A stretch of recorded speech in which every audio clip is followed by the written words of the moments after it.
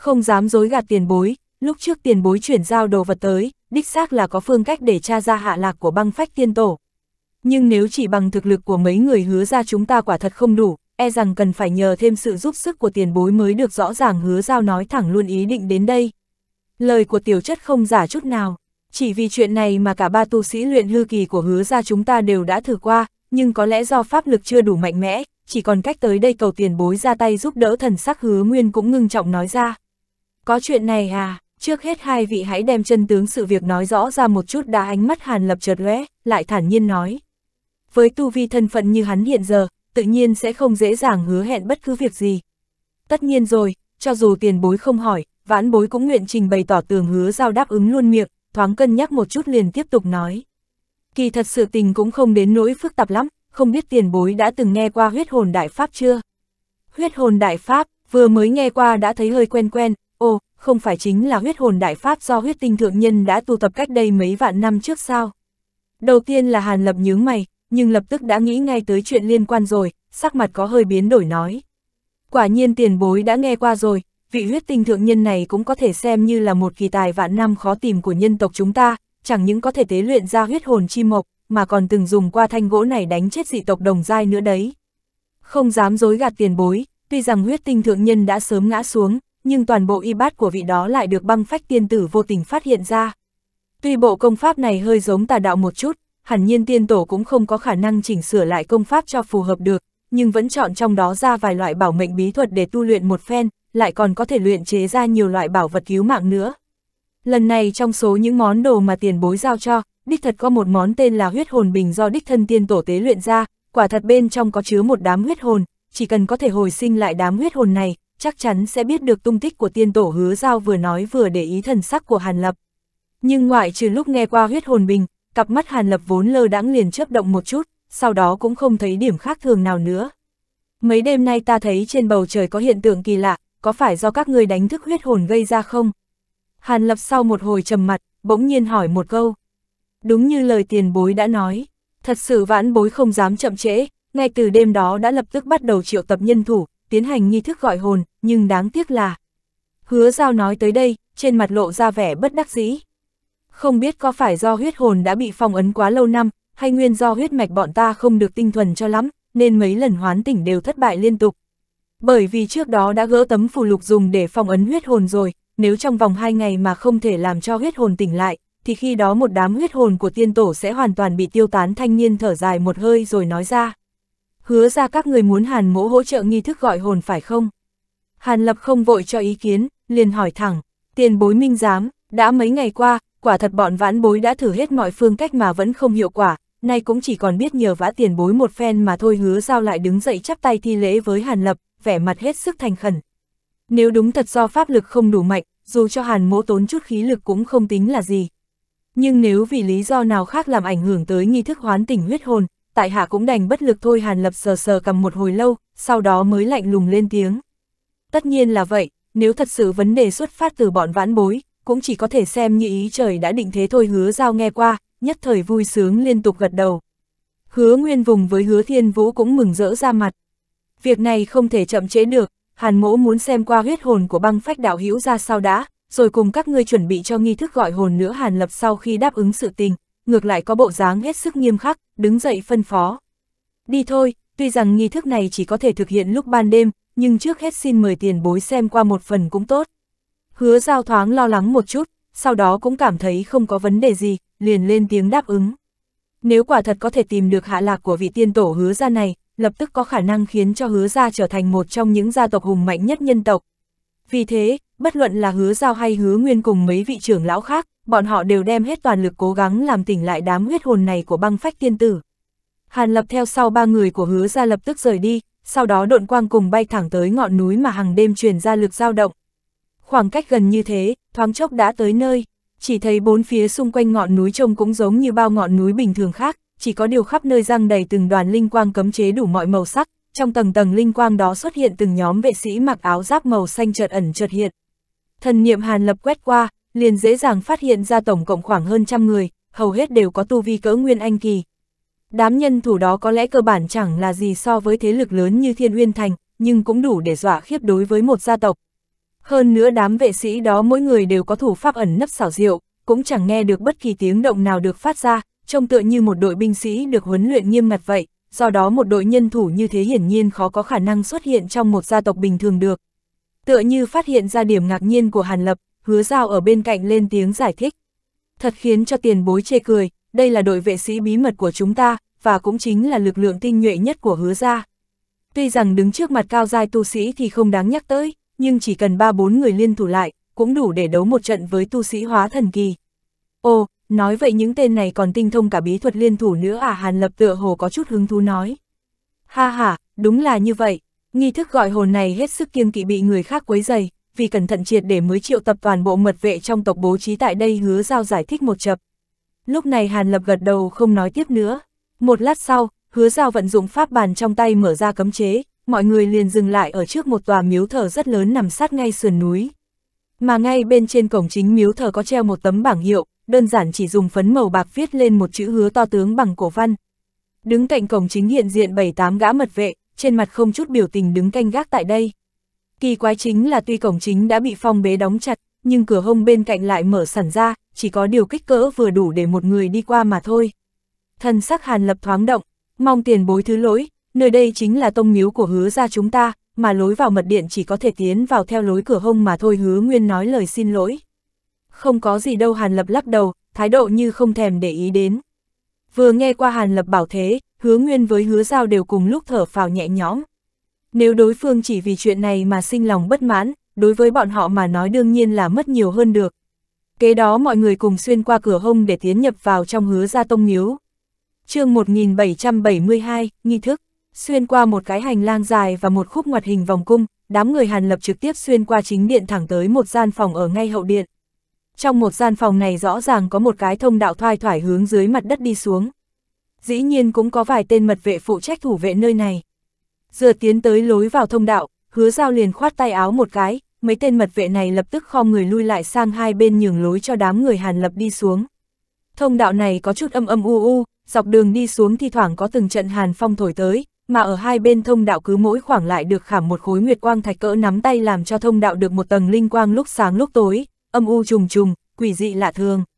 Cũng may thông đạo này cũng không tính là dài lắm, chỉ lát công phu sau mọi người đã đi ra khỏi thông đạo tiến vào một gian đại sảnh được thiết kế tỉ mỉ. Hàn Lập đưa ánh mắt thoáng đảo qua khắp nơi, hai mắt hắn hơi hơi nhíu lại. Cả gian đại sảnh này đều dùng một loại hắc sắc ngọc thạch không rõ xây dựng lên, diện tích ước chừng 3-400 trượng, bốn phía cùng đỉnh đại sảnh có một tầng phù văn thần bí ẩn ẩn bao phủ. Đám phù văn này tỏa ra từng trận bạch sắc linh quang liên hồi, đem cả gian đại sảnh chiếu sáng như ban ngày nhưng thứ đáng chú ý nhất lại là một cái đài cao tinh xảo dị thường được đặt ngay trung tâm của đại sảnh. Cái đài này có hình lục lăng giác được đặt ngay ở trung tâm một tòa pháp trận cỡ lớn, mà ở trên đài cao lại có một ao nhỏ hình tròn chứa một giám dịch đỏ tươi như máu nhưng lại không hề có chút huyết tinh chi khí nào mà ngược lại tản ra từng trận úc hương kỳ dị. Ngoài ra, tại trung tâm pháp trận còn có hơn 10 hứa gia tu sĩ đang khoanh chân nhắm mắt vừa khéo tạo thành một vòng tròn vây quanh cái đài cao. Trong số đó có cả hứa nham, hứa hỏa hai người. Bái kiến hàn tiền bối, đa tạ tiền bối ra tay tương trợ hứa ra. Hai gã luyện hư kỳ tu sĩ này vừa thấy Hàn Lập cùng với đám người hứa giao xuất hiện trong đại sảnh lập tức hiểu rõ ý tứ của Hàn Lập, trong lòng mừng rỡ, đứng dậy hướng Hàn Lập phía xa xa thi lễ. Trước đừng nói cái gì cảm kích, ta có thể giúp đỡ được hay không là chuyện khó nói trước được. Hàn Lập lắc lắc đầu nói, hứa giao thấy vậy không có chút phật lòng nào mà ngược lại còn hướng mấy tu sĩ còn lại ở phía xa xa vẫy tay một cái. Trong số tu sĩ này nam nữ, già trẻ đều có, trẻ nhất bộ dáng bất quá cũng mới 30 tuổi, già thì râu tóc cũng đã bạc trắng như tuyết nhưng mỗi người tu vi đều đã đạt tới hóa thần kỳ, hiển nhiên đều là hứa ra trung tâm đệ tử. Số tu sĩ này sớm đã dùng ánh mắt kính sợ len lén nhìn về phía Hàn Lập, hiển nhiên từ sớm đã biết hắn là tồn tại hợp thể kỳ, hiện giờ lại thấy tộc trưởng phân phó, nhất thời cả đám đứng dậy đồng loạt hướng Hàn Lập thi lễ. Hàn Lập khoát tay, ánh mắt không tự chủ mà hướng về phía huyết trì nhìn lại, trên mặt lộ ra vẻ hứng thú. Vật này được dựa theo ghi chép trong huyết hồn đại pháp tạo ra. Linh dịch trong ao không chỉ chứa máu huyết mà còn có một lượng lớn linh dược, linh vật quý hiếm khác. Hỗn hợp này không chỉ là một trong những thứ thiết yếu nhất để đánh thức huyết hồn mà còn có thể trì hoãn tốc độ tiêu tán của huyết hồn. Hứa Nguyên đứng một bên thấp giọng nói, thì ra là thế, bất qua thứ trọng yếu nhất trong nghi thức không phải là thứ linh dịch kia hay pháp trận huyền diệu kia mà là thứ ở ngay bên huyết trì. Không có vật này, cho dù là pháp trận huyền diệu hơn nữa hay linh dịch trong ao có nhiều hơn thì chỉ e là bí thuật cũng rất khó thi triển ra. Đồng tử Hàn Lập Lam mang thoáng hiện, thản nhiên nói. Tiền bối tuệ nhãn như đuốc, thứ ở bên trong linh dịch kia chính là một trong chấn gia chi bảo của hứa gia ta, huyết tinh quan. Nếu không có vật này, nhất định sẽ không thể ngưng luyện ra huyết hồn chi khu được, như vậy mà nói thì huyết hồn sẽ không có chỗ để ký thác được. Hứa nguyên sắc mặt hơi đổi nhưng lập tức giải thích, nói. Huyết tinh quan, hắc hắc, ta hiểu, xem ra nghi thức thức tỉnh này chắc hẳn đã có chuyện rồi.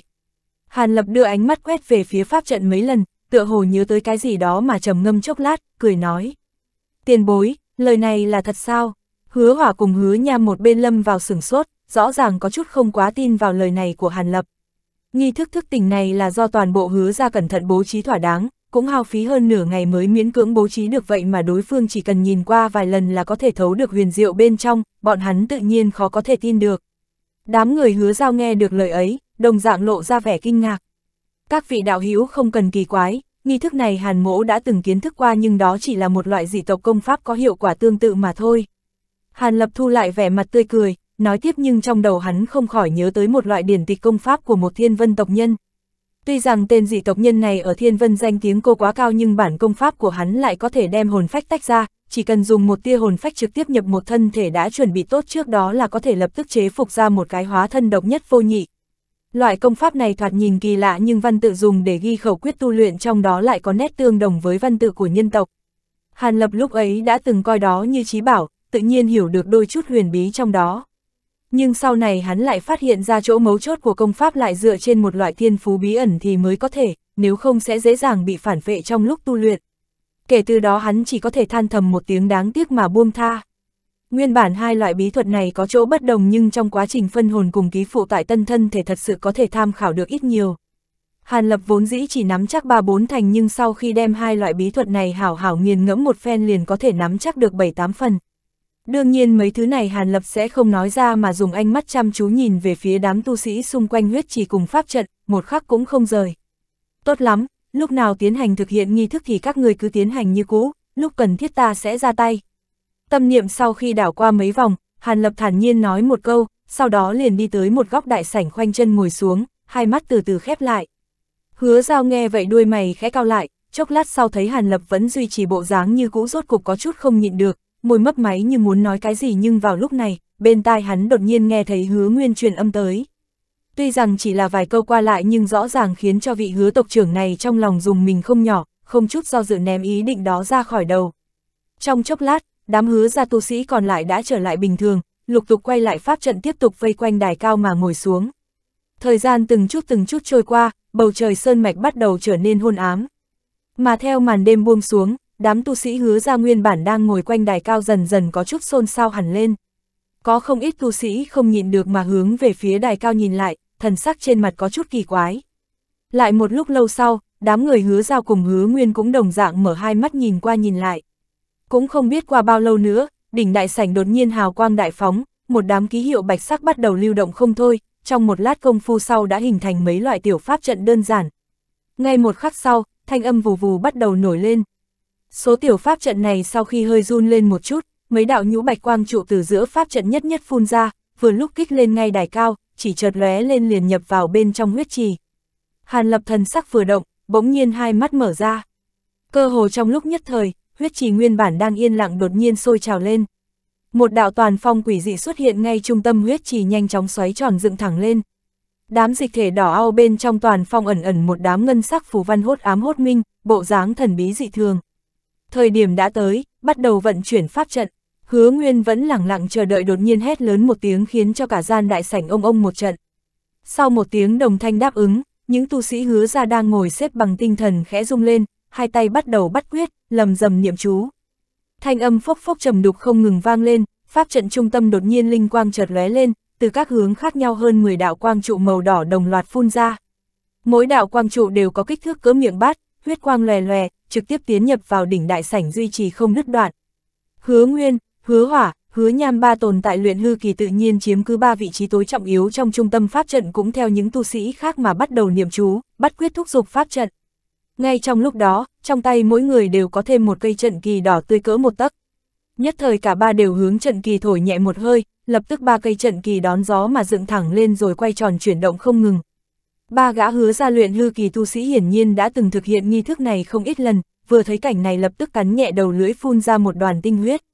Ba đoàn tinh huyết này nhất nhất gào thét bay ra, ngay sau đó liền phịch một tiếng mà hóa thành một đám huyết vụ đem ba cây trận ký bao vào bên trong. Trên ba cây trận kỳ lập tức phát ra một tiếng thanh minh, tiếp theo mỗi cây đều tự giải phóng ra một cỗ quang hà quyển ra đem đám huyết vụ thôn vệ không còn một mảnh. Trong phút chốc, ba cây tiểu kỳ ở trong huyết quang linh quang đại phóng, hình thể cuồng trướng. Sau mấy lần chấp động, liền hóa thành ba cây huyết kỳ thật lớn, sát khí tận trời. Từng trận huyết sắc quang hà từ trên huyết kỳ tuôn ra không ngừng đem cả tòa đại trận phủ kín lại. Cùng lúc đó, trung tâm pháp trận chợt nổi lên một đám huyết quang khác, đem cả khối huyết chỉ bao phủ lại. Một cỗ huyết tinh chi khí cùng một cỗ quái hương đồng thời quay cuồng xuất hiện nhưng cả hai lại đan vào nhau một cách kỳ diệu rồi hóa thành một cỗ khí tức khiến cho người ta cảm thấy trong lòng nặng trĩu. Mà đúng lúc này, cỗ khí tức này giống như bị thứ gì đó hấp dẫn mà vang lên một trận thanh minh kỳ quái, tiếp theo đó một đoàn huyết sắc hỏa diễm quang đoàn thật lớn từ trong lốc xoáy bên trong huyết trì từ từ phóng ra. Ở trong huyết sắc quang diễm, một cái quan tài huyết sắc bằng thủy tinh lẳng lặng huyền phù tại chỗ. Vừa thấy cô huyết tinh quan này xuất hiện, vô luận là ba gã luyện hư kỳ hay hứa ra tu sĩ khác trên mặt không hẹn mà cùng lộ ra vẻ ngưng trọng dị thường. Ngoài thân tất cả đều tỏa ra các loại linh quang đủ màu chuyển động không ngừng, sắc mặt tất cả thoáng cái trắng bệch đi vài phần, thân hình khẽ run run lên, hiển nhiên đã đem pháp lực toàn thân thúc dục tới cực hạn rồi. chương 1773, thức tỉnh, bạch sắc phù văn rậm rạp từ trong huyết trì tuôn ra, khẽ chấp động trong không trung một cái liền tiến nhập vào bên trong huyết tinh quan không thấy bóng dáng, sau đó liền ngưng tụ lại mà huyễn hóa thành bạch sắc nhân ảnh trong nháy mắt. Thấy vậy, hứa giao không chút lưỡng lự hướng về phía trước phất tay áo lên. Trong phút chốc, một cái huyết sắc tiểu bình từ trong tay áo bay ra, sau khi hơi xoay tròn một chút liền trôi nổi ở trước mặt.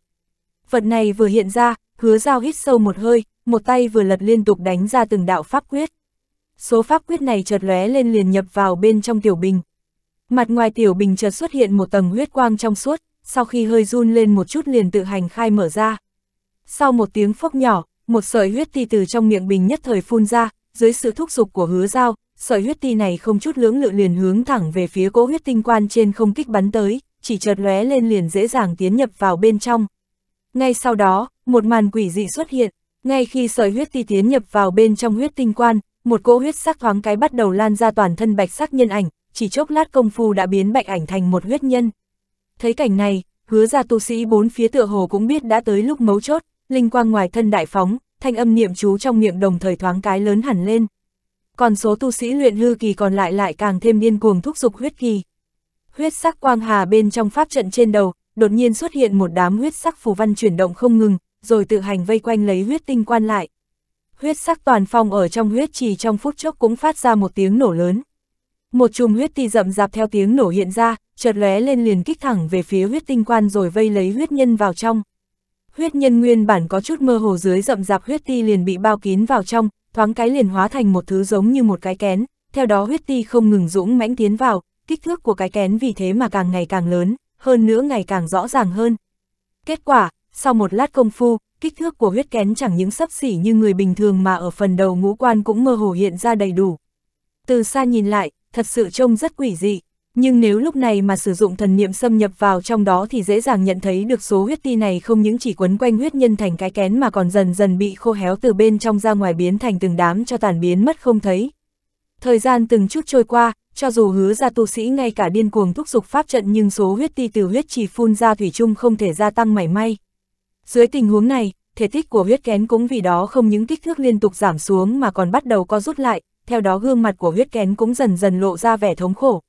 Số tu sĩ cao dai hứa ra sắc mặt đại biến, liều mạng thúc giục pháp lực còn sót lại trong cơ thể, bất quá dù có làm như vậy thì càng làm tình trạng của huyết kén trong huyết tinh quan vẫn không cải thiện được bao.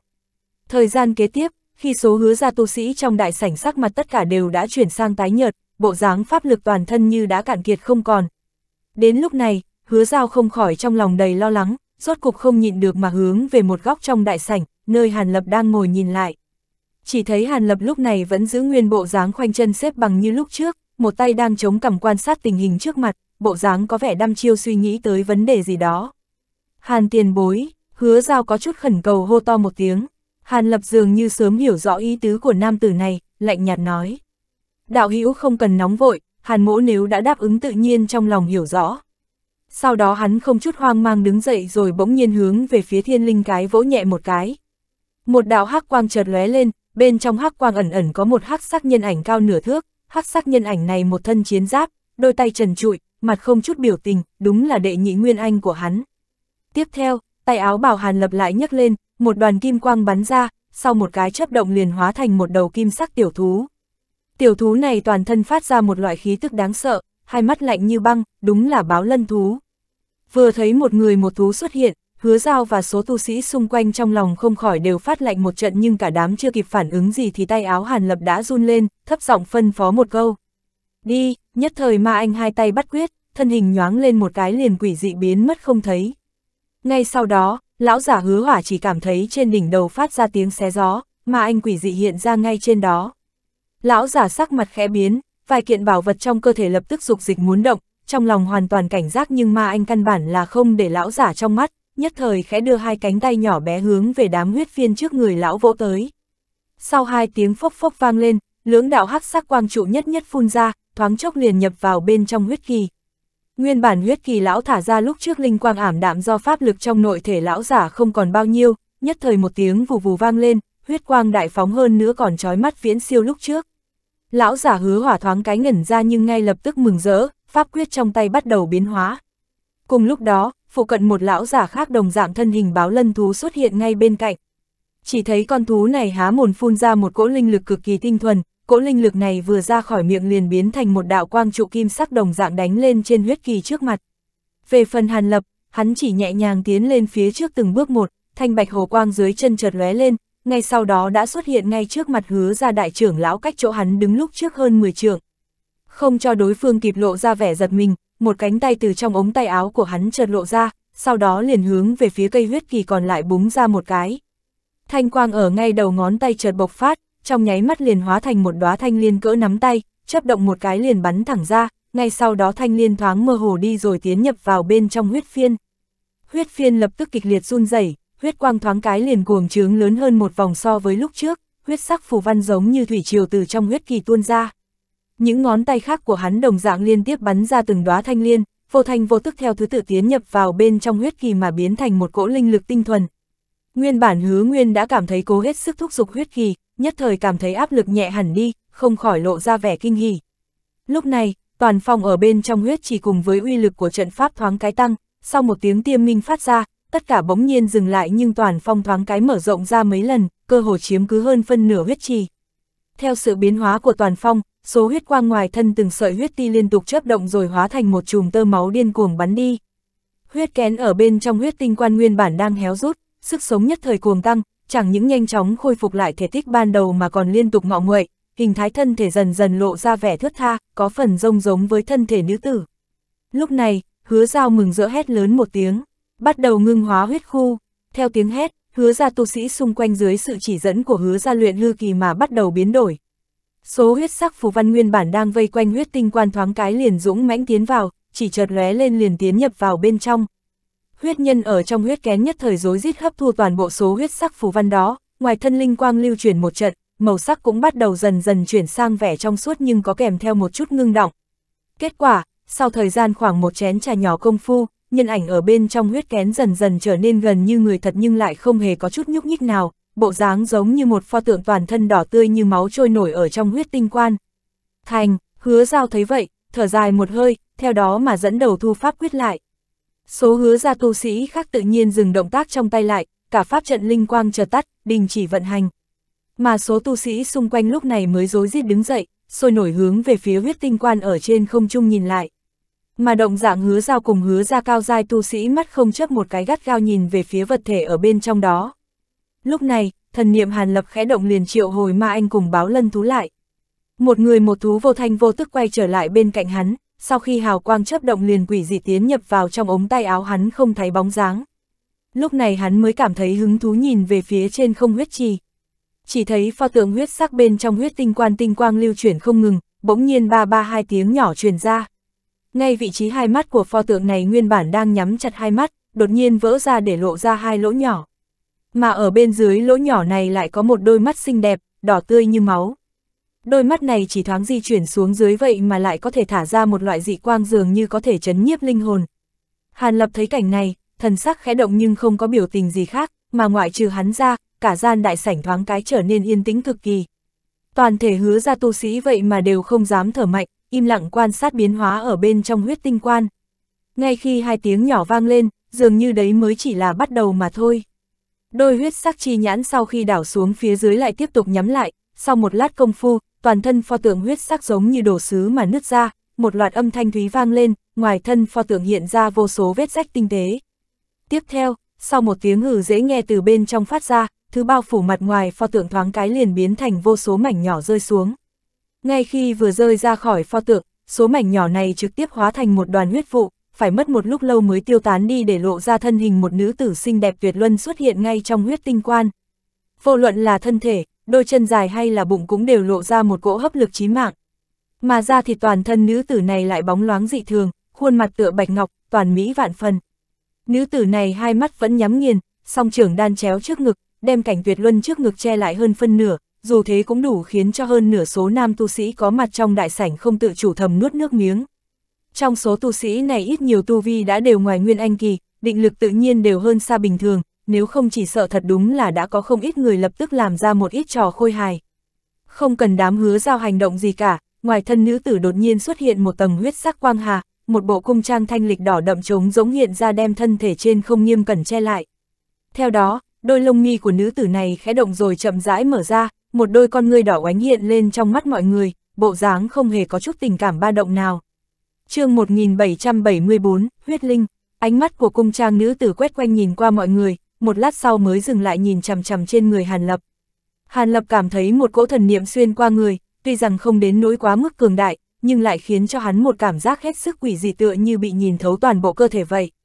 Trong lòng hắn thoáng dùng mình, lập tức đại diễn quyết trong cơ thể tự động vận hành, không chút do dự tống khứ thần niệm chi lực này ra khỏi cơ thể.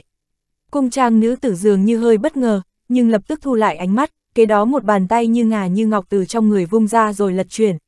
Nguyên bản huyết sắc tinh quan đang bao phủ trên người, nhất thời hiện ra một tầng phù văn quay cuồng bất định. Tinh quan chợt lóe lên rồi từ từ thu nhỏ lại nhiều lần, cho tới khi kích cỡ chỉ còn gần một tấc liền hiện ra trên bàn tay, lại một tia sáng lóe lên, cuối cùng cũng biến mất tâm không thấy đâu nữa. Trong khi đó, cung trang nữ tử thoát ra khỏi bảo vật, rồi trực tiếp đối mặt với mọi người. Bọn ngươi đều là người của hứa gia à, nhưng còn người kia là ai, hình như không phải là đệ tử của hứa gia thì phải. Nữ tử vừa mở miệng liền hỏi một câu tựa như đã đoán biết được sự việc. Nhất thời đám người hứa ra nhìn nhau nghi hoặc, các hạ có phải là băng phách đạo hữu không? Lúc này Hàn Lập khẽ cau mày rồi hỏi lại một câu. Thân thể nàng này rõ ràng là do máu huyết tụ thành, nhưng lại khiến hắn vô phương trực tiếp cảm ứng được tu vi đối phương nông sâu thế nào, điều này thật sự làm cho hắn có chút kỳ dị. Chẳng qua đây chỉ là do một đám phân hồn biến thành hóa thân, nên đương nhiên phải có điểm quỷ dị nào đó, vì thế tự nhiên hắn không cần phải sợ hãi gì cả. Bảo ta là băng phách tiên tử cũng không sai mấy, đạo hữu là tu sĩ hợp thể kỳ hà. Huyết quang trong mắt của cung trang nữ tử hơi lóe sáng, cũng trả lời câu hỏi của Hàn Lập. Đương nhiên nàng cũng nhìn rõ tu vi của Hàn Lập không kém gì bản tôn nàng, cũng là hợp thể kỳ cảnh giới. Tại hạ là Hàn Lập, đích thật là người mà hứa đạo hữu mời tới để trợ giúp làm tỉnh lại huyết hồn của tiên tử nghe đối phương xác nhận đích thật do huyết hồn của băng phách tiên tử hóa thành, Hàn Lập khách khí chắp tay chào. Thì ra là thế, coi như là đám hậu nhân cũng có chút dụng tâm, thế nhưng không ngờ đến có thể khiến cho hợp thể kỳ tu sĩ như đạo hữu tới đây tương trợ nghe được Hàn Lập nói thế, sắc lạnh trong mắt cung trang nữ tử có giảm đi, rồi cũng hướng Hàn Lập thi lễ mà nói. Đám người hứa giao vừa nghe nữ tử này nói thế, cùng cảm thấy trên mặt nóng lên. Rõ ràng vị hàn tiền bối này trước đây chính do bọn hắn lao tâm lao lực mà chủ động mới mời tới được. Nếu không thì làm sao hứa ra bọn họ có thể thức tỉnh huyết hồn của tổ tiên gia tộc mình được. Hắc hắc, chẳng qua chuyện này vốn cùng tại hạ có chút liên quan, hơn nữa sự tình khá cấp bách, huống chi hàn mẫu cùng băng phách đạo hữu còn có một chút quan hệ sâu xa mà hàn lập nở nụ cười nhẹ. Ồ, lại có chuyện này nữa à? Cung trang nữ tử hơi ngẩn ra rồi xoay chuyển ánh mắt nhìn về phía đám tu sĩ hứa ra. Tổ tiên, quả thật hàn tiền bối nói không sai. Chẳng những thế, huyết hồn đã được tiền bối mang về hứa ra, hơn nữa trước đây vị tiền bối này cùng với băng phách tổ tiên đều có xuất thân từ nhân giới, mà còn nhờ đó hấp thu được một ít kiền lam băng diễm của tổ tiên di lưu lại hứa giao tiến lên từng bước cẩn thận trả lời. Thì ra là thế, thiếp thân xin cảm tạ, chỉ cần bản tôn sau này được thoát nạn nhất định hậu tạ báo đáp trong đôi mắt đẹp của cung trang nữ tử thoáng hiện lên một tia kinh ngạc, tuy rằng không nói ra nhiều nhưng cũng khiến cho người ta nghe qua mà không tự chủ được, rất đáng tin tưởng. Thật sự tại hạ cũng không cần báo đáp gì cả, chỉ là có vài vấn đề muốn được thỉnh giáo tiên tử một phen. Bất quá hiện tại không phải là lúc để đàm đạo, hay là đạo hữu hãy củng cố lại pháp thân cho hoàn tất đi rồi sẽ bàn luận tiếp Hàn Lập nhìn nữ tử vài lần, khóe miệng vừa động liền nói. Đạo hữu đã nhìn ra rồi, thật khiến cho đạo hữu phải chê cười. Khối huyết thân này vừa mới cô động lại, đích xác cần phải bỏ ra vài hôm mới có thể làm cho huyết hồn này chân chính dung hợp lại làm một cung trang nữ tử có chút kinh ngạc nhưng cũng không có ý phủ nhận. Ha ha, huyết hồn đạo hữu vừa mới tỉnh lại, nhất định có nhiều chuyện muốn nói cùng tộc nhân. Hàn mỗ sẽ không quấy rầy nữa, thiên vũ đạo hữu người hãy đưa ta quay về chỗ ở đi Hàn lập quay người lại, bỗng nhiên nói với hứa thiên vũ đứng gần đó. Vâng, thiên vũ tuân mệnh, vãn bối cùng tiến tiền bối, sau khi huyết hồn tổ tiên bình ổn trở lại, tự mình sẽ đến thâm tạ tiền bối vậy hứa thiên vũ không khỏi sửng sốt, liền nhìn hứa giao một cái, nhưng có điều vị hứa tộc trưởng đó vừa nghe Hàn Lập bảo thế, trong lòng vui vẻ mà cảm tạ liên tục. Cung trang nữ tử thấy thế cũng không ngăn cản lại, liền hướng Hàn Lập nhẹ nhàng thi lễ. Sau đó Hàn Lập cùng với hứa thiên vũ quay người đi, nhanh nhẹn bước ra khỏi đại sảnh. Vừa thấy thân hình Hàn Lập khuất dạng, hứa giao mới cùng với đám tu sĩ hứa ra đồng loạt tiến. Lên quỳ xuống bái kiến nữ tử, các ngươi hãy đứng lên cả đi, hiện tại đã có thể khiến cho huyết hồn của ta thức tỉnh trở lại, thật nhọc công cho các ngươi quá. Ngươi chính là đương nhiệm tộc trưởng hứa ra à? Cung trang nữ tử hướng về hứa giao chậm rãi hỏi. Đồ tôn hứa giao hiện chấp trưởng gia tộc đời thứ 173, xin bái kiến băng phách tổ tiên hứa giao cung kính dị thường liền trả lời. Đời thứ 173, xem ra đã trôi qua nhiều năm rồi. À, tu vi của ngươi tuy không được cao lắm, nhưng cũng tạm được. Tất cả hãy đứng lên hết đi. Tuy rằng huyết hồn được truyền thừa một ít ký ức từ bản tôn, nhưng vốn chẳng phải chân chính là bản tôn, hơn nữa do trải qua một thời gian phong ấn quá lâu, phần lớn trí nhớ đã không còn được trọn vẹn, cố gắng lắm cũng chỉ có thể nhớ lại được vài thứ trọng yếu trước đây mà thôi. Cũng không cần phải gọi ta là tổ tiên gì cả, cứ kêu ta một tiếng huyết linh là được rồi cung trang nữ tử lại cười khổ rồi khoát tay chặn lại. Đám tu sĩ hứa ra vừa mới nghe qua trước hết đều phát sửng sốt, kế tiếp trong lòng ai cũng cả kinh. Huyết linh tiền bối, có thể nhớ được bản tôn của băng phách tổ tiên có được bình yên vô sự hay không? Hứa nguyên cuống lên, thật cũng không cần dây dưa nhiều về cách xưng hô làm gì, liền há miệng hỏi thẳng vấn đề quan trọng nhất. Vừa nghe hỏi như thế, Ngọc Dung của cung trang nữ tử thoáng âm trầm, một lúc lâu sau đó mới lắc đầu. Đám người hứa giao trông thấy bất chợt phát lạnh, yên tâm đi, tuy rằng ta không nhớ rõ bản tôn có ngã xuống hay không, nhưng chỉ bằng vào tia cảm ứng của huyết hồn, chắc chắn sẽ tra ra được nàng có hiện hữu trong linh giới này hay không. Hơn nữa ta còn mơ hồ ấn tượng được một ít manh mối liên quan cung trang nữ tử cuối cùng cũng nói ra một câu khiến cho mọi người trở nên thoải mái hơn. Dù sao có được manh mối cũng tốt rồi, chỉ cần tìm ra tung tích, bọn ta nhất định thỉnh tổ tiên đại nhân trở về hứa giao hít sâu một hơi, sau đó ngưng trọng hướng không trung ôm quyền nói. Chuyện này cũng chẳng phải dễ dàng gì, tuy rằng sự tình ta chưa nhớ ra, nhưng hẳn là bản tôn bị nhốt ở một đại lục khác. Được rồi, hãy chờ cho ký ức trong đầu ta được ổn định trở lại, lúc đó sẽ nói rõ ràng cho các ngươi. Trước hết các ngươi hãy nói cho ta biết tình hình nhân tộc hiện nay, cùng với sự tình của tên tu sĩ hợp thể kỳ vừa rồi. Lúc nãy ta cảm nhận được một cỗ khí thức nào đó rất quen thuộc, ngoài kiền lam băng diễm như các ngươi đã nói lúc trước, dường như còn một thứ nào khác mà ta vô cùng quen thuộc, này cũng bị người đó chiếm giữ, nhưng cụ thể là gì quả thật ta không thể nhớ ngay lúc này. Khuôn mặt xinh như ngọc của huyết linh hiện ra tia nghi hoặc. Đám người hứa giao nghe bảo thế không khỏi lấy làm kinh ngạc mà liếc mắt nhìn nhau một cái. Sau khi do dự một lát, hứa giao liền cung kính trả lời. Nếu huyết linh tiền bối muốn biết, vãn bối lập tức trình bày chi tiết. Từ khi băng phách tổ tiên mất tích không bao lâu, nhân tộc chúng ta liền bị một lần đại kiếp nạn từ ma giới tấn công vào nhân tộc, lúc đầu trong tam hoàng và thất yêu vương bị ngã xuống không ít, khiến cho hai tộc nhân yêu phải một phen điêu đứng, trong suốt hơn vạn năm có chút hỗn loạn xảy ra. Vị tộc trưởng hứa ra này bắt đầu thuật lại tuần tự những đại sự mấy vạn năm trước, trong đó cũng có xen vào một ít sự tình phát sinh của hứa ra, thậm chí kể cả những lần đại nạn suýt bị diệt tộc cũng thuật lại rõ ràng. Kế tiếp hắn kể lại cặn kẽ nguyên do nào mà hứa thiên vũ quen được hàn lập cho hóa thân huyết hồn tổ tiên nghe. Mà lúc này cung trang nữ tử vẫn còn lơ lứng trên không trung huyết trì, thần sắc trên mặt thủy trung vẫn bình thường, chỉ có mỗi cặp mắt xinh đẹp mơ hồ chớp động tia huyết quang, khiến cho bất cứ ai ngó qua cũng khó tránh được trong lòng gợn sóng. Cùng lúc đó, Hàn Lập đã quay về tới tòa lầu lúc trước, sau đó tiến hứa thiên vũ rời đi. Hắn leo lên tầng trên cùng, rồi bước tới cạnh cửa sổ, hai mắt híp lại nhìn vài lần về phía hứa ra tông miếu, thoáng trầm ngâm một chút. Nhưng chỉ một lát sau, Hàn Lập rời khỏi cửa sổ mà vào lại bên trong. Sau khi khoát tay, một tấm bổ đoàn bay ra, theo đó hắn khoanh chân ngồi xuống, tay bắt quyết niệm chú, thần sắc lạnh nhạt rồi hai mắt nhắm lại. Từ đó trở đi, Hàn Lập không có bất cứ hành động nào khác, tựa như đã hoàn toàn nhập định vậy. Ba ngày sau, cung trang nữ tử tự xưng là huyết linh dẫn theo hứa giao xuất hiện trước cửa tòa lầu.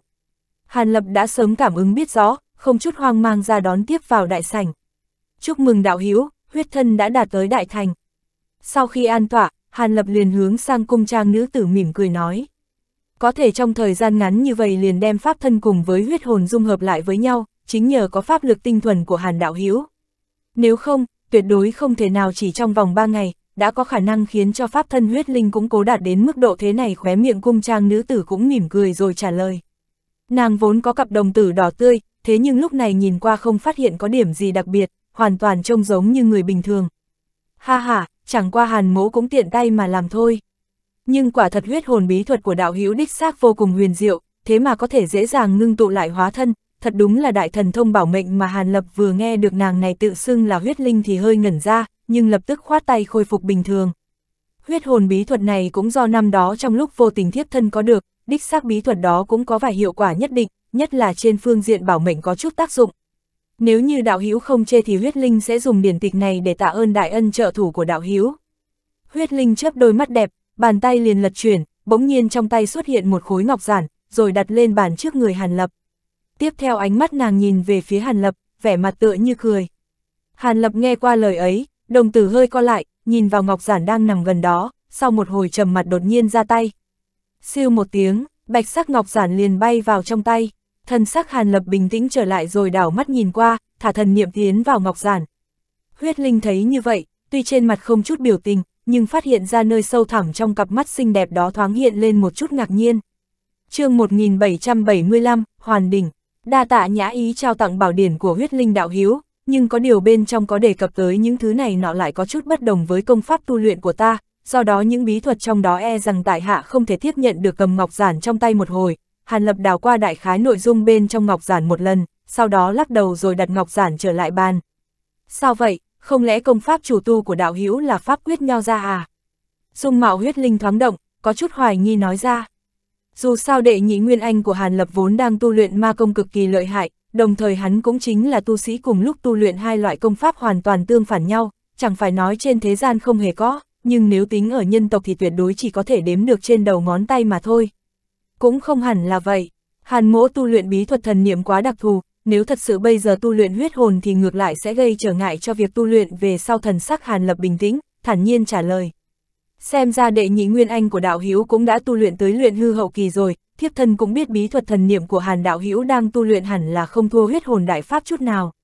Nếu không, bất kỳ ai muốn tu luyện thêm nguyên anh phụ trợ, mà thần niệm chi lực không đủ, thì theo lẽ thường ắt hẳn tu vi phải thua xa bản tôn. Còn thiếp thân đây, được hóa thân từ một đám huyết hồn, bất quá pháp lực cũng chỉ đạt tới luyện hư sơ kỳ mà thôi. Nếu là như vậy, ta sẽ thu hồi lại vật ấy huyết linh tuy nghe Hàn Lập bảo thế, nhưng không lộ ra chút bất ngờ nào, phất tay áo một cái thu ngọc giản trở về. Huyết hồn thuật này mà so với đệ nhị Nguyên Anh thì quả thật cái nào cũng có sở trường riêng cả, chỉ có điều nếu đệ nhị Nguyên Anh của tại hạ mà rời xa bản tôn lâu năm như đạo hữu đây, át hẳn đã sớm xuất hiện phiền toái lớn rồi Hàn Lập nhìn sang cung trang nữ tử ở đối diện, cười một chàng rồi nói thêm. Cũng vì từ thời thượng cổ, huyết hồn thuật đã được sử dụng bí thuật huyết luyện đặc thù để tế luyện hồn niệm, do đó không cần phải e ngại xuất hiện trường hợp hóa thân phản phệ. Nếu không thì huyết tinh thượng nhân sáng lập ra bí thuật này, năm xưa đã không có danh khí cực lớn như vậy rồi huyết linh thản nhiên cười rộ. Hàn Lập nghe qua, cũng không nói tiếp lời nào nữa, chỉ cười hắc hắc. Đúng rồi, mấy hôm trước có nghe Hàn Đạo Hữu nói là có chút vấn đề cần hỏi thiếp thân phải không, tuy rằng huyết linh truyền thừa ký ức từ bản tôn không được trọn vẹn lắm, nhưng chỉ cần biết rõ sẽ ra sức giải đáp phần nào cho đạo hữu thần sắc nữ tử ngưng trọng nói.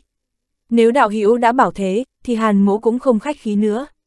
Lai lịch của tại hạ có lẽ huyết linh đạo hữu đã từng nghe nói qua rồi chứ ánh mắt hàn lập đảo qua người hứa giao đang ngồi kế bên rồi trầm ngâm hỏi. Đích xác huyết linh đã biết được một ít, chẳng những đạo hữu với bản tôn huyết linh cùng xuất thân từ nhân giới, mà còn tìm được kiền lam băng diễm di lưu lại của bản tôn tại hạ giới, hiện giờ lại còn trợ giúp hứa ra hoán tỉnh lại thiếp thân, trong đó cơ duyên thật xảo hợp, đúng là không còn gì để nói nữa cung trang nữ tử than nhẹ một tiếng, thần sắc thoáng có chút phức tạp.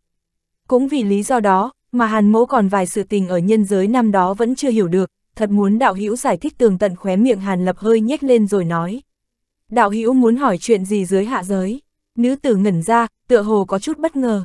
Sao vậy, có gì không ổn à? Ánh mắt Hàn Lập chợt lóe, dường như hơi khó hiểu. Đâu chỉ đơn thuần là không ổn, nếu đạo hữu muốn hỏi về chuyện dưới nhân giới, huyết linh e là không thể giải thích được chuyện nào cả cung trang nữ tử cười khổ một tiếng. Bỗng nhiên Hàn Lập nhíu mày lại, bất quá cũng chưa mở miệng hỏi kỹ hơn, vì hắn biết đối phương nhất định sẽ nói rõ ràng hơn nữa. Quả nhiên một lát sau, cung trang nữ tử nói tiếp. Không phải huyết linh cố ý làm ra vẻ thần bí, mà căn bản trong ký ức của ta không có những chuyện liên quan tới nhân giới. Đối với mọi hiểu biết về nhân giới, hiện tại chỉ cảm thấy hết sức mơ hồ, không còn ấn tượng nào cả. Sao lại như vậy, chẳng lẽ trong lúc đạo hữu phong ấn huyết hồn, thì bị mất đi trí nhớ ở nhân giới rồi à? Trong lòng Hàn Lập có chút nghi hoặc liền hỏi, không hẳn nguyên nhân chủ yếu bị mất đi là do phong ấn, mà có thể trước khi bản tôn truyền thừa ký ức, cơ bản không có phục chế bộ phận trí nhớ trong giai đoạn nhân giới này nữ tử nhất quyết khẳng định nói. Do nguyên nhân này à, dường như thế, huyết linh cũng không biết chính xác lắm cung trang nữ tử hơi xấu hổ một chút. Khóe miệng Hàn Lập hơi mím lại, cuối cùng cũng không hỏi tiếp gì nữa. Cung trang nữ tử cũng cảm thấy ngượng ngùng, nhưng rõ ràng lần này nàng đến bái phỏng Hàn Lập, còn có một chuyện quan trọng khác nữa, cho nên sau một lúc trần trừ, thần sắc có chút kỳ quái rồi mở miệng. Thiếp thân cũng có một chuyện không rõ, không biết có nên hỏi qua không. Trong lòng Hàn Lập hoàn toàn hết chỗ nói, đối phương đã không thể giải đáp cho nghi vấn của mình, mà còn ngược lại muốn nhờ mình giải đáp thắc mắc nữa chứ. Nhưng trên mặt hắn vẫn chưa lộ ra biểu tình gì cả, liền ảm đạm cười nhẹ. Có chuyện gì vậy, đạo hữu cứ nói ra đi, nếu vậy thiếp thân mạo muội nói thẳng ra. Xin hỏi hàn đạo hữu lúc ở nhân giới, có từng thu thập được món pháp khí nào có quan hệ với bản tôn huyết linh không? Mấy ngày trước, khi vừa gặp mặt đạo hiếu thiếp thân đã cảm nhận được một cỗ khí tức hết sức quen thuộc từ trên người đạo hiếu. Tuy rằng không thể nhớ được đó là thứ gì, nhưng phảng phất nhận ra được món đồ đó tựa hồ rất trọng yếu đối với huyết linh và bản tôn. Huyết linh hít sâu một hơi, rồi hỏi cực kỳ ngưng trọng. Hàn Lập vừa nghe qua, hơi biến sắc một chút, sau một lúc lâu nhìn kỹ cung trang nữ tử, mới chậm rãi trả lời. Tuy rằng nghe qua lời nói của đạo hữu không rõ ràng lắm, nhưng ta nghĩ có thể chính là vật này thì phải. Vừa dứt lời, Hàn Lập hé miệng phun ra một đoàn thanh quang. Quầng sáng này vừa xoay tròn liền hóa thành một chiếc tiểu đỉnh màu xanh, nhẹ nhàng rơi xuống tay Hàn Lập. Đúng là hư thiên đỉnh, hư linh đỉnh, ô không đúng, chính là hư thiên đỉnh. Huyết Linh vừa thấy bảo vật này liền kinh hải thất thanh la lên, trên mặt tràn đầy vẻ kinh hỉ, nhưng kế đó đôi mắt xinh đẹp hơi ngẩn ra, trên mặt lập tức hiện lên vẻ phức tạp dị thường.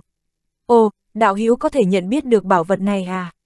Chân mày Hàn Lập hơi nhướng lên liền hỏi, chắc chắn không sai, tuy rằng ta không nhớ rõ những sự tình ở nhân giới, nhưng chỉ vừa mới nhìn thấy đỉnh này, không hiểu sao lại có thể gọi ra ngay đúng tên như thế. Hơn nữa từ khí tức phát ra trên đó, tựa hồ như rất giống với một kiện hư linh đỉnh khác cũng của bản tôn, át hẳn là cả hai có cùng xuất xứ do bản tôn tự tay luyện chế ra. Mặt khác ta cũng không hiểu lý do tại sao, ta có cảm giác bảo vật này cực kỳ trọng yếu đối với bản tôn huyết linh nhìn chân chân tiểu đỉnh, thì Thảo nói ra. Cực kỳ trọng yếu, Hàn lập lộ ra một tia biểu tình sâu xa, nguyên nhân khiến thiếp thân khó diễn đạt được nên lời, chính là dựa theo luồng ý niệm mãnh liệt bên trong ký ức được lưu lại trong huyết hồn mà ra. Ta cũng không quanh co dài dòng với hàn đạo hữu nữa, thiếp thân sẽ không tiếc tốn kém để thu hồi lại hư thiên đỉnh này, chỉ cần đáp ứng việc này, hàn huynh hãy nói ra điều kiện đi huyết linh sau khi trầm mặt một hồi, mới cẩn thận nói ra. Hai mắt hàn lập nhíu lại, khẽ sờ sờ cầm, trong lúc nhất thời vẫn chưa mở miệng trả lời gì cả. Hứa giao, hãy đem những thứ kia lấy ra đây. Huyết Linh thấy tình hình như vậy bỗng nhiên ngó qua hứa giao ở bên cạnh, dùng lời lẽ dứt khoát ra lệnh. À vâng, Huyết Linh tiền bối. Hứa giao vừa nghe qua lời nói của cung trang nữ tử, trên mặt hiện ra vài phần không can tâm, nhưng sau khi cắn răng một phát, liền lắc vòng tay chữ vật trên cổ tay ra. Một mảnh bạch sắc hào quang bay cuộn ra, hai hộp ngọc một lớn một nhỏ cùng với túi da màu xanh hiện ra trên mặt bàn bên cạnh Hàn Lập. Ở đây có một gốc ngọc ma hoa khoảng 3 vạn năm tuổi, còn đây là linh bảo bát giao nhận có thể triệu hồi 8 loại giao long chi lực, cùng với một túi cực phẩm linh thạch trị giá 3.000 vạn. Huyết linh xin dùng ba thứ này để đổi lấy hư thiên đỉnh trong tay đạo hiếu. Hàn đạo hiếu cảm thấy thế nào? Việc này nếu như xong, cũng xem như bản tôn nhận của đạo hiếu một món nợ nhân tình vậy. Chỉ cần ngày nào bản tôn trở về nhân tộc, ta nhất định cảm tạ thâm sâu sóng mắt huyết linh lưu động nói ra. Hàn lập khẽ cười một tiếng, nháy mắt thần niệm xuyên qua ba món đồ đang đặt trên bàn. Bên trong quả nhiên đúng như lời nói của cung trang nữ tử. Một đóa hắc sắc linh hoa rất hữu dụng đối với tu luyện ma công, đồng thời một lam sắc quái nhận ẩn hiện tám loại dao long, và một túi da chứa đầy cực phẩm linh thạch. Hàn Lập nhấc tay lên, hộp ngọc đựng hắc sắc linh hoa kia liền bay vào trong tay hắn. Hàn huynh, đây là ý gì? Huyết linh nhíu chân mày lại, thoáng có chút khó hiểu liền hỏi. Riêng đóa ngọc ma hoa này vốn có chút tác dụng với hàn mỗ, nếu từ chối thì hơi thất kính. Còn linh thạch và linh bảo này tại hạ không thiếu nên cũng không cần, tuy hàn mỗ chẳng phải là chính nhân quân tử gì, nhưng vẫn ít nhiều hiểu được câu uống nước nhớ nguồn chứ. Năm xưa dưới hạ giới, tại hạ đã thu thập được kiền lam băng diễm cùng với chiếc đỉnh này, đã từng mấy lần trợ giúp ta đánh bại đại địch. Chỉ bằng vào điểm này hàn mỗ cũng sẽ không quá tham lam, huống chi đóa hắc ngọc hoa này quả thật là một linh dược đặc sản của ma giới, tất nhiên mức độ quý hiếm không thua gì linh bảo đâu hàn lập mỉm cười nói. Tiếp theo tiểu đỉnh trong tay được nâng lên, rồi bay lên không trung, chỉ một thoáng chấp động, đã nhẹ nhàng lơ lửng bất động một chỗ trước người nữ tử. Dựa theo động thái cùng lời nói của Hàn Lập, hiển nhiên cung trang nữ tử hết sức bất ngờ, liền nhìn kỹ vào tiểu đỉnh, trên mặt hiện lên vẻ khác thường. Nhưng nàng này cũng chẳng phải người bình thường, sau một lúc trầm mặc, liền nghiêm sắc mặt nói. Ân tình này của đạo hữu huyết linh đại diện cho hứa giá cùng bản tôn xin đa tạ, sau này đạo hữu có bất cứ việc nào cần hỗ trợ cứ việc đến hứa ra tìm ta. Tuy rằng tu vi huyết linh không cao lắm, nhưng tự nghĩ chỉ cần có chuyện cần tới, ta nguyện trợ giúp một tay. Cung trang nữ tử tuy nói ngắn gọn mấy câu, nhưng biểu hiện hết sức nghiêm nghị, kế đó tay áo bảo vung lên, một quầng huyết quang hiện ra. Tiểu đỉnh màu xanh đang lơ lửng trước người, cùng với hai vật khác còn nằm trên mặt bàn lập tức chợt lóe lên rồi biến mất dạng. Tiếp theo nàng thi lễ với Hàn Lập, rồi không nói thêm lời nào nữa mà hướng cổng chính đi thẳng ra. Vãn bối cũng xin cáo từ hứa giao thấy tình hình có chút bất ngờ, liều cuống quyết đứng dậy chắp tay chào Hàn Lập xong cũng đuổi sát theo sau. Ánh mắt Hàn Lập chấp động nhìn ra cổng một hồi lâu sau, mới nhẹ phát ra một tiếng than. Không hiểu tại sao, tuy rằng hắn vẫn chưa nghe được bất kỳ câu trả lời nào của huyết linh, hơn nữa cũng chưa rõ ràng lắm tình hình bản tôn thế nào, nhưng sau khi trả lại hư thiên đỉnh cho nàng thì nội tâm hết sức thoải mái. Trước đây, chỉ cần một chút áy náy tương tự thế này cũng có thể biến thành tâm ma gây cản trở trong quá trình tu luyện, bây giờ đây hắn cảm giác hết sức thoải mái, ảnh hưởng của lời thề năm đó với vị thanh niên họ ông vào lúc này cũng hoàn toàn được giải khai. Tuy rằng hư thiên đỉnh đúng là một kiện linh bảo, nhưng rõ ràng hắn còn chưa biết được một công năng nào đó của bảo vật này. Nếu không, chỉ so sánh uy năng đấu pháp thôi thì chưa thể bằng được mấy món linh bảo khác trên người hắn. Hiện giờ phải giao trả lại đương nhiên có chút đáng tiếc, nhưng cũng chưa đến nỗi khiến hắn không nỡ rời xa. Hiện tại có thể vừa tiêu trừ hẳn tâm ma, vừa có thể kết giao hảo hữu với huyết linh và hứa ra lại còn băng phách tiên tử về sau nữa, nếu tính luôn cả đóa ngọc ma hoa này, cũng chẳng bị thiệt thòi chút nào. Bất quá mọi việc hầu như đã xử lý xong, cũng đến lúc phải rời khỏi hứa ra rồi. Thời điểm tham dự vạn bảo đại hội cũng còn khá xa, trước mắt có thể đi du ngoạn khắp nơi trong thiên nguyên cảnh này, rồi từ từ sắp xếp thời gian đến tham gia đại hội. Hàn Lập đứng dậy chậm rãi đi ra hướng thang lầu, trong đầu thoáng có chút suy nghĩ. chương 1776, Hải Đại Thiếu cùng khí linh tử. Một ngày sau, một đạo thanh hồng từ phía trong sơn mạch hứa ra bắn ra, sau khi xoay quanh một chút liền hiện ra thân hình Hàn Lập ở tầng trời cao. Chỉ thấy hắn quay đầu thản nhiên nhìn xuống phiến sơn mạch dưới chân vài lần liền tái khởi độn quang phá không bay đi. Sau mấy cái chấp động liền biến mất ở phía chân trời xa xa. Liên tiếp những ngày sau đó, Hàn Lập bắt đầu du lịch thiên nguyên cảnh dọc theo một số thành thị lớn nhỏ rồi kéo dài đến mấy năm. Tại những thành thị này, những danh môn thế gia có chút danh khí đều ghi dấu chân hắn. Một mặt hắn trực tiếp đăng sơn bái phỏng cùng một vài cao giai tu sĩ nhiệt đàm trao đổi hoặc chỉ lạnh lùng quan sát một lát sau đó liền lặng lẽ rời đi. Tuy rằng hắn mới chỉ đi qua một phần 10 thiên nguyên cảnh nhưng cũng phải mất tới vài năm, trong những năm ngắn ngủi này cũng đủ để cho hắn đối với tình hình thực tế của nhân tộc càng thêm rõ. Về số lượng hợp thể kỳ tu sĩ của nhân tộc đích xác còn xa mới so với giác si tộc hoặc thậm chí là phi linh tộc.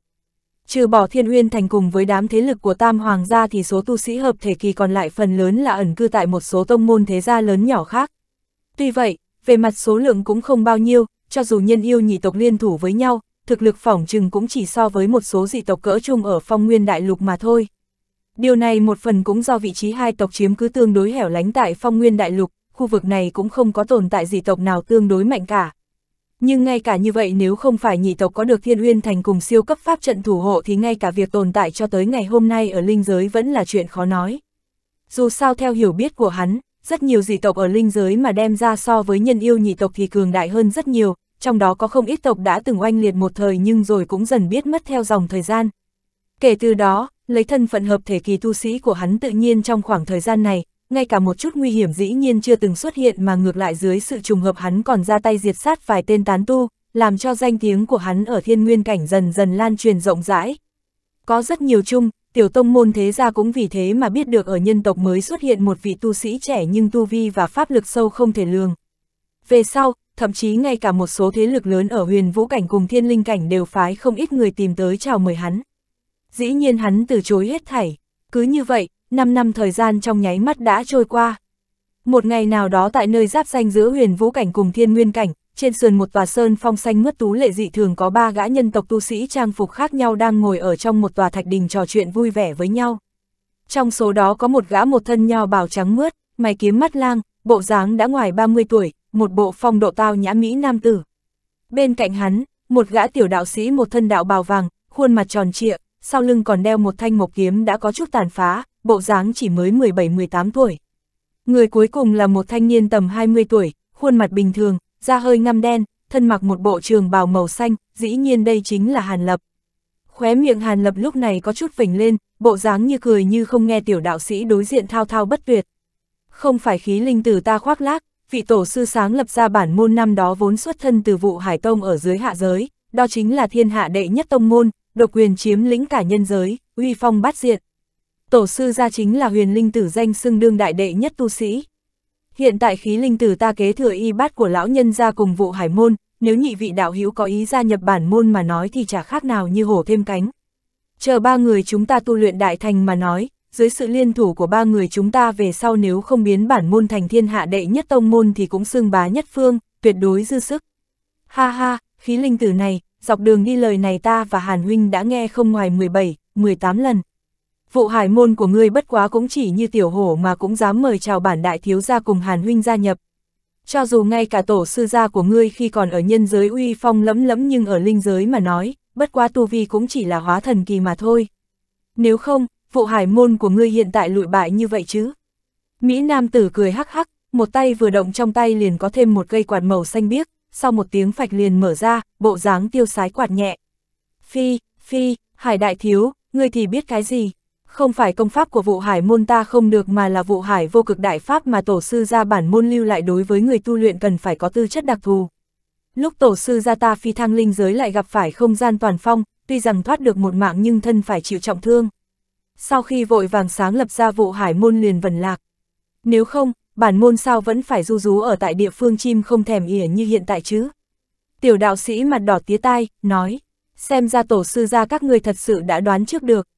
Lấy thực lực của vụ hải môn các ngươi, nếu thực sự chiếm cứ một linh sơn linh mạch nào đó thì chỉ e linh giới nhất mạch các ngươi đã không còn tồn tại tới bây giờ. Hàn huynh, ngươi nói có đúng không? Tên hải đại thiếu Mỹ nam tử kia tay cây quạt nhỏ nhẹ nhàng quạt, bộ dáng rung đùi đắc ý, bỗng nhiên hướng Hàn Lập hỏi. Hải lão đệ có lý, bất quá, công pháp của khí linh tử đạo hữu thật sự có chút huyền diệu, hơn nữa đối với tư chất người tu luyện nhất đích xác là có yêu cầu đặc thù. Hàn Lập mỉm cười, nói, ha ha, ngươi xem, ngay cả Hàn Huynh đều nói như vậy, vụ hải môn chúng ta truyền thừa đích xác không phải bình thường. Thế nào, chỉ cần ngươi gia nhập bản môn, ta lập tức đem vụ hải vô cực đại pháp truyền lại. Tiểu đạo sĩ vừa nghe Hàn Lập nói như vậy, đôi mắt nhỏ lập tức cười híp lại thành một đường, dùng khẩu khí đầy dụ hoặc nói. Hải đại thiếu kia nghe xong lời này, mở lớn hai mắt nhưng không có chút tức giận, đáp. Công pháp bản đại thiếu gia ta tu luyện chính là luyện thể thuật, hơn nữa lại có thiên phú hơn người, kim cương quyết ta đã luyện tới tầng thứ ba. Bất quá, ngươi chỉ mới trúc cơ không lâu, ngay cả bản đại thiếu gia ta cũng không hơn mà có năng lực dạy cái gì sao. Bản nhân muốn bái sư thì cũng phải bái nhập vào danh môn chính phái. Còn có hàn huynh, lời của ngươi mới rồi chính là hàm hồ. Cái gì gọi là có chút đạo lý, lời bản đại thiếu gia vừa rồi khẳng định không sai. Năm đó huyền linh tử tiền bối sỡ dĩ đem vụ hải quan di rời tới nơi khỉ ho có gáy này, hơn phân nửa cũng vì nghĩ tới truyền thừa mà thôi. Hải đại thiếu nói xong, bộ dáng lại có chút tự đắc. Hai người trước mắt thật đúng là một cặp dở hơi trời sinh. Hai người này là hắn gặp lúc trước gặp ở trong một thành thị phụ cận. Lúc ấy hai người vừa lúc đắc tội với một môn phái nhỏ, bị vài tên trúc cơ kỳ tu sĩ đuổi giết. Loại chuyện này vô luận là ở nhân yêu lưỡng tộc tự nhiên đều là việc bình thường. Hàn Lập lúc ấy đang phi hành trên cao, nguyên bản cũng không có ý tứ ra tay can thiệp nhưng vẫn cố tình dùng thần niệm đảo xuống dưới một chút, chỉ thấy tên luyện thể sĩ một thân linh căn tuyệt hảo nhưng lại chủ tu luyện thể thuật của phàm nhân, hơn nữa tuổi còn trẻ mà đã đem kim cương quyết tu luyện tới đệ tam tầng. Tên còn lại linh căn tựa hồ phi thường thấp kém nhưng lại chủ tu một loại công pháp thập phần kỳ lạ, có thể lấy thực lực yếu nhược của bản thân chống lại vài tên cùng giai tồn tại. Dưới sự liên thủ của hai người này vậy mà miễn cưỡng không rơi xuống hạ phong dưới sự liên thủ của năm tên cùng giai lại. Hàn Lập trong lòng sinh ra chút tò mò, tâm niệm khẽ động liền đem khí thức trên người thu liếm tới chút cơ kỳ đỉnh giai tồn tại, sau đó đột nhiên hiện thân cứu giúp một phen. Lấy thần thông của hắn, cho dù tu vi cùng pháp lực chỉ duy trì ở mức trúc cơ kỳ thì cũng chỉ cần nhấc tay liền đem năm tên kia dọa sợ mà lui. Hai tên hải đại thiếu cùng khí linh tử kia được Hàn Lập cứu một mạng, tự nhiên đối với Hàn Lập cảm kích vạn phần, hơn nữa sau khi tâm sự mấy câu liền có ý kết bái thành huynh đệ. Hàn Lập ngay lúc đó sắc mặt tự nhiên đặc sắc vạn phần, vội vàng tìm cớ thoát ly. Nhưng sau một hồi, sau khi biết Hàn Lập có ý tới huyền vũ cảnh tham gia vạn bảo đại hội, hai người này lập tức mừng rỡ, kiên quyết nhất định phải đồng hành với hắn. Nguyên lai like hai người này cũng đang trên đường tới tham gia sự kiện nhân yêu nhị tộc, vạn bảo đại hội lần này. Hàn Lập nghe xong, nhất thời có chút hết chỗ nói. Vạn bảo đại hội là nơi nào chứ? Sự kiện này ngay cả tu sĩ hợp thể kỳ thậm chí ngay cả tam hoàng, thất yêu vương tồn tại đều có thể đích thân tham dự, vậy mà hai tên trúc cơ kỳ lại tính toán tham gia. Tuy rằng vạn bảo đại hội đều không có quy định cấm tu sĩ trúc cơ kỳ nhưng đê giai tu sĩ bình thường đều là người hầu hoặc thị nữ hoặc môn nhân linh tinh này nọ. Cho dù có một số ít trúc cơ kỳ tu sĩ một mình tham gia thì cũng chỉ dám ở phụ cận vạn bảo đại hội để mở rộng tầm mắt mà thôi. Vậy mà hai vị hải đại thiếu cùng tiểu đạo sĩ lại mang theo một số linh trà cùng mấy khối quặng sắt không biết tên tính toán tham dự đại hội này. Thật sự là làm cho người khác cười khổ cũng không nổi. Tuy nhiên có thể nói, linh trà của khí linh tử phẩm chất đích xác không tồi, miễn cưỡng có thể nói là thượng phẩm. Mà quặng sắt không biết tên này tuy rằng không phải là vật đáng giá gì nhưng mà ngay cả Hàn Lập cũng vô pháp nhận ra lai lịch của nó. Cho nên Hàn Lập lại càng tò mò về hai vị này, hơn nữa hắn cảm thấy vạn bảo đại hội dù sao còn lâu mới khai mở, cũng không cần quá vội vã chạy tới, cho nên hắn tỉnh bơ đồng ý với hai người này. Vì thế, hắn lấy ra một kiện pháp khí phi xa thượng phẩm mang theo hai người bay thẳng tới huyền vũ cảnh. Ở trên đường đi, càng làm cho Hàn Lập cười khổ không được chính chưa chờ hắn bóng gió hỏi thăm lai lịch của hai tên này, vậy mà hai tên hải đại thiếu cùng khí linh tử này ở trong phi xa sau khi cãi qua cãi lại một hồi, tự nhiên đem toàn bộ những gì hắn cần nói ra cả. Vị tự xưng hải đại thiếu vốn xuất thân từ một thế gia tại thành thị của phàm nhân, cũng là một trong những luyện thể sĩ phi thường nổi danh, tuy rằng có được linh căn tuyệt hảo nhưng khi mới sinh, tu sĩ kiểm tra linh căn cho hắn phạm phải sai lầm, cho nên hắn bị biến thành phàm nhân không có linh căn. Kể từ đó, từ nhỏ hắn đã được bồi dưỡng thành một gã luyện thể sĩ nhưng đến khi hắn lộ ra thiên phú kinh người lại trùng hợp nhận ra bản thân mình có linh căn, tự nhiên giống như người bị ngũ lôi oanh đỉnh. Nhưng cho dù vậy, vị hải đại thiếu này vẫn giống như người bình thường khác, không chút do dự bỏ qua luyện thể thuật mà tiến vào con đường tu tiên. Nhưng tòa thành thị hắn ở lại không có tông môn tu tiên chính hiệu nào cả, thêm nữa hắn có chút tâm cao khí ngạo nên tiểu tông môn bình thường căn bản không để vào trong mắt. Sau một phen cẩn kẽ suy nghĩ, hắn liền lén lút rời khỏi gia tộc tìm tới địa phương có tông môn tu tiên khác. Kết quả, nửa đường đi hắn gặp phải tên tiểu đạo sĩ đang tính toán tham gia vạn bảo đại hội. Hai người này sau một phen đàm luận với nhau, vậy mà lại mưu tầm mưu, mã tầm mã lập đội lên đường tham gia vạn bảo đại hội. Hải đại thiếu sau một hồi bị đối phương cổ động, chẳng những kết bái với hắn thành hảo hữu mà còn đồng hành với hắn đi tới vạn bảo đại hội. Nguyên bản, trong lời của vị khí linh tử miêu tả về vạn bảo đại hội. Hóa thần đầy đất, Nguyên Anh không bằng cầu, tùy tiện tìm một vị tu sĩ bái làm môn hạ đều hơn xa so với gia nhập tông môn tu tiên gì đó hơn gấp trăm lần. chương 1777, Cửu Tiên Sơn. Vì thế, cặp giờ hơi trời sinh này kết hảo hữu cùng nhau lên đường. Bất quá, hai người cũng coi như cơ cảnh, tình nguyện chọn đường dài mà đi, tận lực tránh những chỗ hung hiểm, cho nên dọc đường đi cũng không có đụng phải nguy hiểm gì lớn. Cho đến khi hai người này trong lúc vô tình đắc tội một tiểu tông môn trong một thành thị nhỏ nên mới gặp phải một phen đại họa, bị vài tên cùng giai tồn tại đuổi giết. Nếu không đụng phải Hàn Lập, sợ rằng hai người thật là có đại phiền toái.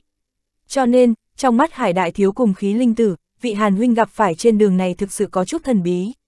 Chẳng những một thân tu vi chỉ cách kim đan kỳ chỉ có một bước nhỏ nhưng trên người những có không ít pháp khí cùng bảo vật huyền diệu mà lại còn tùy ý chỉ điểm mấy câu tâm đắc trên con đường tu luyện cũng khiến cho hai người được lợi không nhỏ, cho dù bọn hắn thúc ngựa đuổi theo cũng không cách nào so được. Ngay khi Hải Đại Thiếu được Hàn Lập chỉ điểm về luyện thể thuật, khiến hắn thực ngạc nhiên rất lâu. Dù sao, đối phương cũng là tu tiên giả nhưng đối với luyện thể thuật của phàm nhân quả thực am hiểu vô cùng, thực sự là hiếm thấy. Cũng chính vì vậy, trong suy nghĩ của hai người không hẹn mà càng không thể đánh giá được Hàn Lập, bộ dáng thâm bất khả chắc. Cũng may, vị hải đại thiếu và khí linh tử này tính cách trước nay đều là loại người đỉnh đạc. Cho dù biết Hàn Lập không phải tu sĩ bình thường nhưng bọn họ vẫn không thèm để ý chút nào mà ngược lại còn mở miệng gọi một tiếng Hàn huynh nhiệt tình dị thường. Nếu không phải thấy tu vi của Hàn Lập không cao, phỏng chừng hai người này lập tức thi lễ bái sư từ lâu rồi. Dù sao tiểu đạo sĩ khí linh tử này mặc dù luôn mồm muốn phát triển vụ hải môn lớn mạnh nhưng trên thực tế đã sớm lộ ý niệm bái sư tại vạn bảo đại hội. Hiện tại, phỏng chừng trong mắt hắn một chút lưu luyến danh hiệu môn chủ vụ hải môn cũng không có. Cho dù toàn tính của hắn là thế nhưng dọc đường đi, vị khí linh tử này vẫn năm lần bảy lượt chào mời hai người Hàn lập ra nhập vụ hải môn nhưng so ra chỉ là như trò đùa mà thôi. Tự nhiên hắn luân phiên bị hải đại thiếu cười mắng, mà Hàn lập cũng chỉ có thể cười khổ không dứt. Cứ như vậy, Hàn lập mang theo hai người một đường phi hành suốt một tháng trời, dĩ nhiên một tháng này nằm trong khoảng thời gian cho phép. Cho đến khi ba người Hàn Lập đi thẳng tới một ngọn sơn phong cách huyền vũ không xa liền dừng lại nghỉ ngơi chốc lát rồi lại tiếp tục lên đường. Vừa rồi là khí linh tử thao thao bất tuyệt nói về vụ hải môn mà cũng không quên câu dẫn hai người Hàn Lập, hải đại thiếu tự nhiên một chút do dự cũng không, ngay lập tức cự tuyệt. Mà Hàn Lập nhìn như cười không dứt kia, ở sâu trong mắt ẩn hiện một tia lam mang âm thầm chấp động, bộ dáng như phát giác ra điều gì đó mà nhìn chằm chằm về phía hải đại thiếu đối diện không tha. Đột nhiên, trên mặt hải đại thiếu đột nhiên hiện ra một tia đỏ sẫm khác thường nhưng chỉ sau một lần hô hấp thời gian liền biến mất vô ảnh vô tung. Khai, Hàn Lập trong lòng quát khẽ một tiếng, một luồng thần niệm cường đại trong nháy mắt bộc phát hướng thân thể hải đại thiếu đảo qua thật nhanh. Ha ha, không phải là ta mặt dày, chỉ bằng dĩ linh căn phong thuộc tính linh của ta mà bái làm môn hạ của tu sĩ hóa thần hay luyện hư kỳ nào đó đều là việc dễ dàng. Chờ đến lúc ta tu luyện đại thành, khi đó, hải đại thiếu bộ dáng cao hứng mơ tưởng tới lúc công pháp đại thành, trở thành tồn tại như những lão quái vật nguyên anh kỳ hay hóa thần kỳ nào đó, khi đó cuộc sống của hắn hẳn là tốt đẹp vô cùng. Mà hắn tự nhiên không biết, lúc hắn tự đắc về phong dị linh căn cửa hắn thì linh căn của hắn đã quỷ dị biến mất không thấy. Giờ phút này, bất kỳ một tu sĩ nào tới kiểm tra linh căn của hắn thì chỉ đều sẽ nói hắn chỉ là một gã phàm nhân luyện thể sĩ mà thôi. Khóe mắt Hàn Lập khẽ co giật mấy cái, trong lòng có chút khiếp sợ. Quả nhiên một màn này hơn 10 ngày trước đều giống nhau y hệt, phong linh căn của đối phương lại lần nữa biến mất trước mắt hắn. Nếu không sai, chỉ sau một ngày một đêm, linh căn của vị hải đại thiếu này lần nữa sẽ xuất hiện. Kỳ quái, với lịch duyệt của hắn nhưng hắn chưa từng nghe tới trường hợp linh căn tự biến mất trong một khoảng thời gian ngắn như vậy. Thật sự là rất kỳ quái, nếu cứ như vậy, chẳng phải là khi linh căn biến mất, một thân tu vi sẽ không cách nào thi triển ra được sao? Thân sắc Hàn Lập thoáng hiện lên một tia kinh dị, trong lòng thực sự rất khó diễn tả nổi. Hàn huynh, người phát ngốc gì thế, sắc mặt người tựa hồ có chút không tốt lắm a. Không bằng thưởng thức một chút linh trà của vụ hải môn ta chứ. Nhưng dù sao Hàn huynh cũng phải lấy ra thêm một ít linh quả ra a. Lần trước ăn xong, tư vị kia thật sự làm cho người ta khó quên được. Khí linh tử linh giác linh mẫn phát hiện nét mặt Hàn Lập có chút khác thường, ánh mắt khẽ động, cười hắc hắc nói. Khí linh tử nói không sai, linh quả lần trước Hàn huynh lấy ra, tư vị đúng là tuyệt hảo. Hải đại thiếu vừa nghe khí linh tử nói như vậy, tinh thần khẽ rung lên, không cao giọng đàm luận nữa mà giống như tiểu đạo sĩ dùng đôi mắt trông mong nhìn về phía Hàn Lập. Ta cũng biết nhị vị vẫn còn nhớ tới linh quả lần trước tại hạ lần trước lấy ra. Cũng không phải hàn mỗ hẹp hòi mà ngưng châu quả này mặc dù mùi vị đặc biệt ngon nhưng trong đó ẩn chứa tinh thuần linh lực cũng không nhỏ, một lần ăn quá nhiều rất có thể làm tổn hại kinh mạch của nhị vị đạo hiếu. Như vậy đi, ta lấy thêm ra 6 quả nữa, một người hai hai quả. Hai người này vậy mà trong nháy mắt liền đem toàn bộ sự chú ý lên linh quả của Hàn Lập, điều này làm cho da mặt hắn rực rực mấy cái, chỉ có thể vội vàng ho khan một tiếng, nói. Tiếp theo, một tay áo bảo run lên, một số chén đĩa cùng bàn ghế bằng ngọc thạch trắng noãn hiện ra, ngoài ra trên bàn còn có thêm 6 trái linh quả xanh mướt to bằng trứng chim. Ha ha, không sao, có thể ăn được hai quả là không tồi rồi. Cũng không biết có phải trùng hợp hay không, lần trước ta ăn vào ba trái linh quả của Hàn Huynh, tu vi nguyên bản trì trệ không tiến vậy mà trong mấy ngày nay không ngờ có thể đột phá. Nếu linh quả này đúng như lời Hàn Huynh nói, có thể cho ta biết nơi nào có bán loại ngưng châu quả này hay không?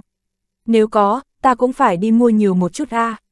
Sau này cũng không cần đan dược hay đả tọa tu luyện gì cả mà cứ năm ba ngày ăn vào hai trái linh quả này là đủ. Khi đó, tu vi chắc hẳn một đường tăng tiến rồi. Khí linh tử nhìn linh quả trên bàn, thần sắc vui mừng quá đỗi nhưng chưa chờ hắn dứt lời, một đạo hắc ảnh chợt lóe lên, ngay lập tức số linh quả trên bàn vậy mà lại mất đi hai quả. Khí linh tử ngẩn ra, đảo mắt nhìn xuống một chút liền nhận ra đó là hai cái tay của vị hải đại thiếu, trong mỗi tay đều bắt được một quả linh quả, ngay lập tức đưa lên miệng ngấu nghiến gặm. Siêu cao thuế nặng thiên vật A, khí linh tử gặp tình hình này, liên tục lắc đầu. Mà Hải Đại Thiếu hai mắt khẽ đảo, căn bản là không thèm để ý tới vẻ thương tiếc của tiểu đạo sĩ trước mắt, mà chỉ cảm thấy miệng đầy sinh lực, thỏa mãn hô to không ngừng. Hàn Lập im lặng không nói nhưng trong lòng lại mỉm cười. Không biết hai người này nếu biết được giá mỗi trái linh quả này cũng hơn một vạn linh thạch, không biết còn có thể thống khoái hưởng thụ như vậy được hay không nữa. Bất quá, vị khí linh tử này cũng có chút không tầm thường. Hàn Lập xoay chuyển ánh mắt, hai mắt híp lại nhìn về phía tiểu đạo sĩ. Linh căn của tiểu đạo sĩ này đích xác chỉ thuộc loại bình thường, linh căn tam thuộc tính nhưng qua mấy ngày cẩn thận quan sát, hắn cũng phát hiện ra đan điền của đối phương có một hạt châu bị ẩn nhỏ như hạt đậu được một tầng linh quang bao phủ.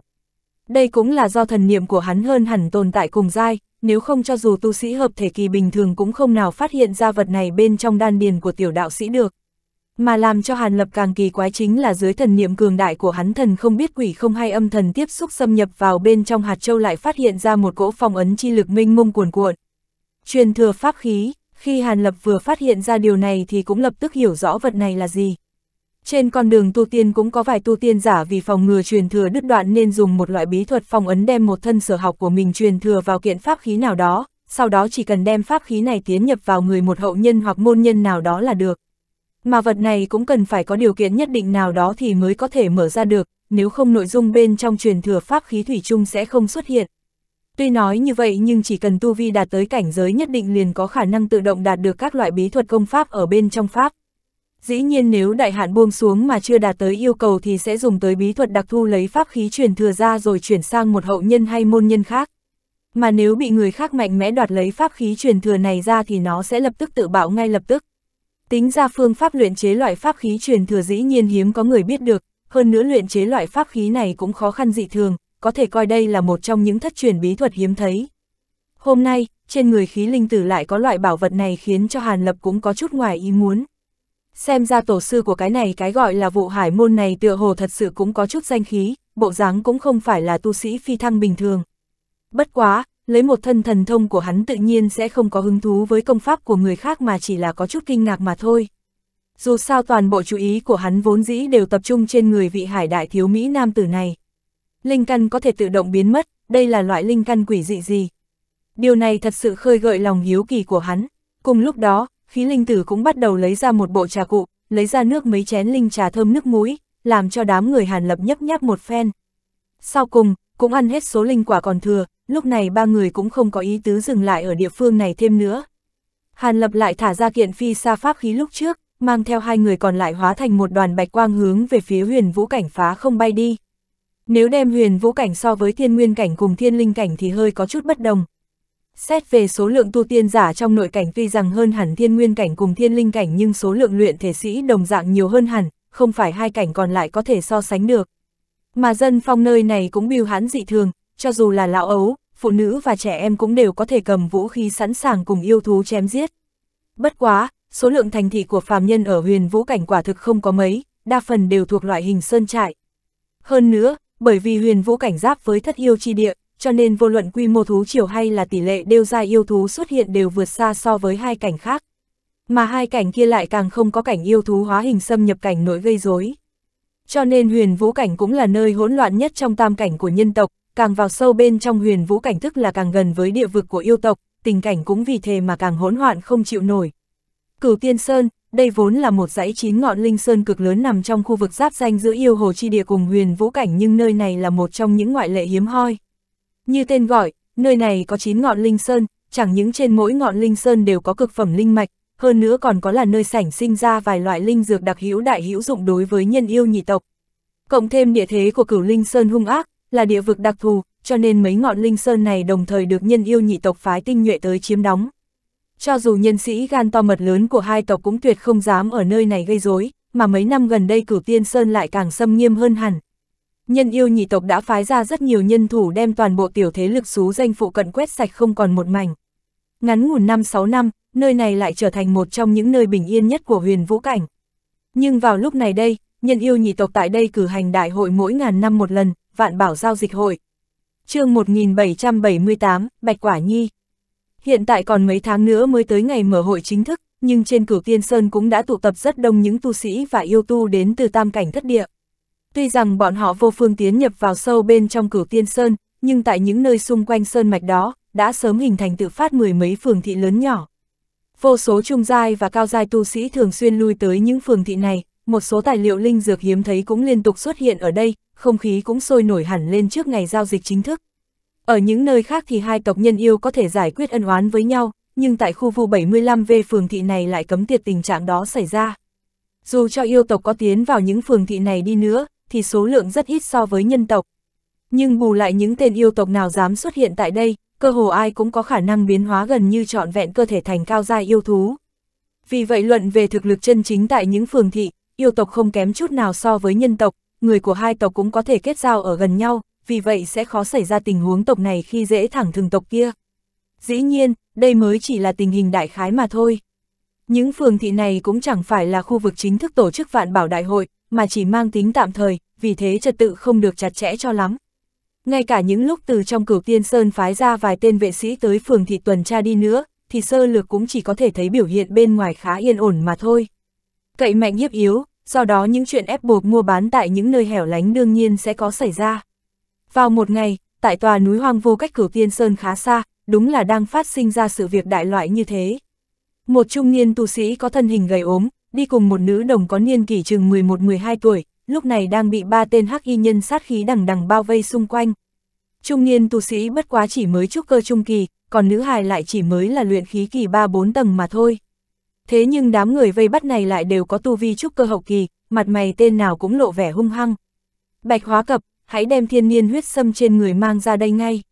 Nếu biết thức thời, ba huynh đệ chúng ta chẳng những tha cho phụ tử các ngươi rời đi, mà còn có thể trả cho ngươi một ít linh thạch, còn không thì đừng trách thạch mỗ trở mặt vô tình đấy trong số ba gã hắc y nhân này, có một tên xem ra niên kỷ đứng đầu, âm trầm lên tiếng.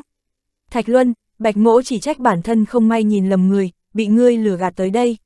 Nhưng nếu ngươi muốn ta giao ra huyết sâm, thì trước hết hãy thả tiểu nữ rời khỏi chỗ này, bằng không ta nguyện hủy diệt huyết sâm cũng sẽ không giao ra tên trung niên gầy ốm tuy có gương mặt tiểu tụy nhưng không hề hoảng loạn, một tay giơ lên lập tức lấy ra từ trong tay áo một hộp gấm, tay kia linh quang chấp động đè lên chiếc hộp, trên mặt thoáng hiện vẻ tức giận liền nói ra. Ba gã hắc y nhân thấy vậy, sắc mặt không khỏi biết sắc. Không được, người mà không giao ra huyết sâm trước, đừng nghĩ sẽ có ai thoát khỏi nơi này một tên hắc y nam tử khác dứt khoát cự tuyệt. Hừ, bạch mỗ sao không biết chứ, dù cho ba người các người có đoạt được huyết sâm hay không, nhất định cũng sẽ hạ độc thủ với hai người phụ tử chúng ta. Không cần phải phát thệ độc chú gì đó, lời hứa của ba người các ngươi ta sẽ không tin được chút nào đâu trung niên tu sĩ lạnh lùng nói ra, thần sắc hết sức kiên quyết. Ngươi đừng mơ, được, thạch mỗ đáp ứng ngươi. Hắc y tu sĩ vừa mở lời cự tuyệt vốn còn muốn tiếp tục uy hiếp gì đó, lại bỗng dưng bị tên thạch luân kia âm trầm chặn lại, chẳng những vậy còn tỏ lời đáp ứng nữa. Thạch huynh, ngươi, thế nào, các ngươi không muốn nghe theo lời của thạch mỗ nữa sao thạch luân quét ánh mắt lạnh lẽo dị thường về phía hai tên đồng bọn. À không, bọn ta sao dám như vậy chứ, thôi thì cứ theo như lời thạch huynh nói đi, hãy phóng thích cho tiểu nha đầu này trước. Hai gã hắc y tu sĩ kia liếc mắt nhìn nhau, tự chung lại hết sức kiêng nể tên thạch luân này, mà chỉ có thể bất đắc dĩ đồng ý nghe theo. Trung niên tu sĩ thấy tình hình như vậy rất đổi vui mừng. Có lẽ ngươi đã nghe thấy ba người bọn ta nói rồi chứ, tiểu nha đầu này có thể đi được rồi. Nhưng nếu sau đó ngươi ma mãnh đổi ý gì đó, kết quả thế nào hẳn ngươi đã rõ. Thạch Luân lại âm trầm uy hiếp trung niên tu sĩ. Cứ yên âm, bạch mỗ chỉ cần quan tâm tới an nguy của tiểu nữ mà thôi, chỉ cần tiểu nữ được bình an vô sự, một gốc huyết sâm này có xá là gì trung niên tu sĩ buông lỏng nét mặt ra rồi nói.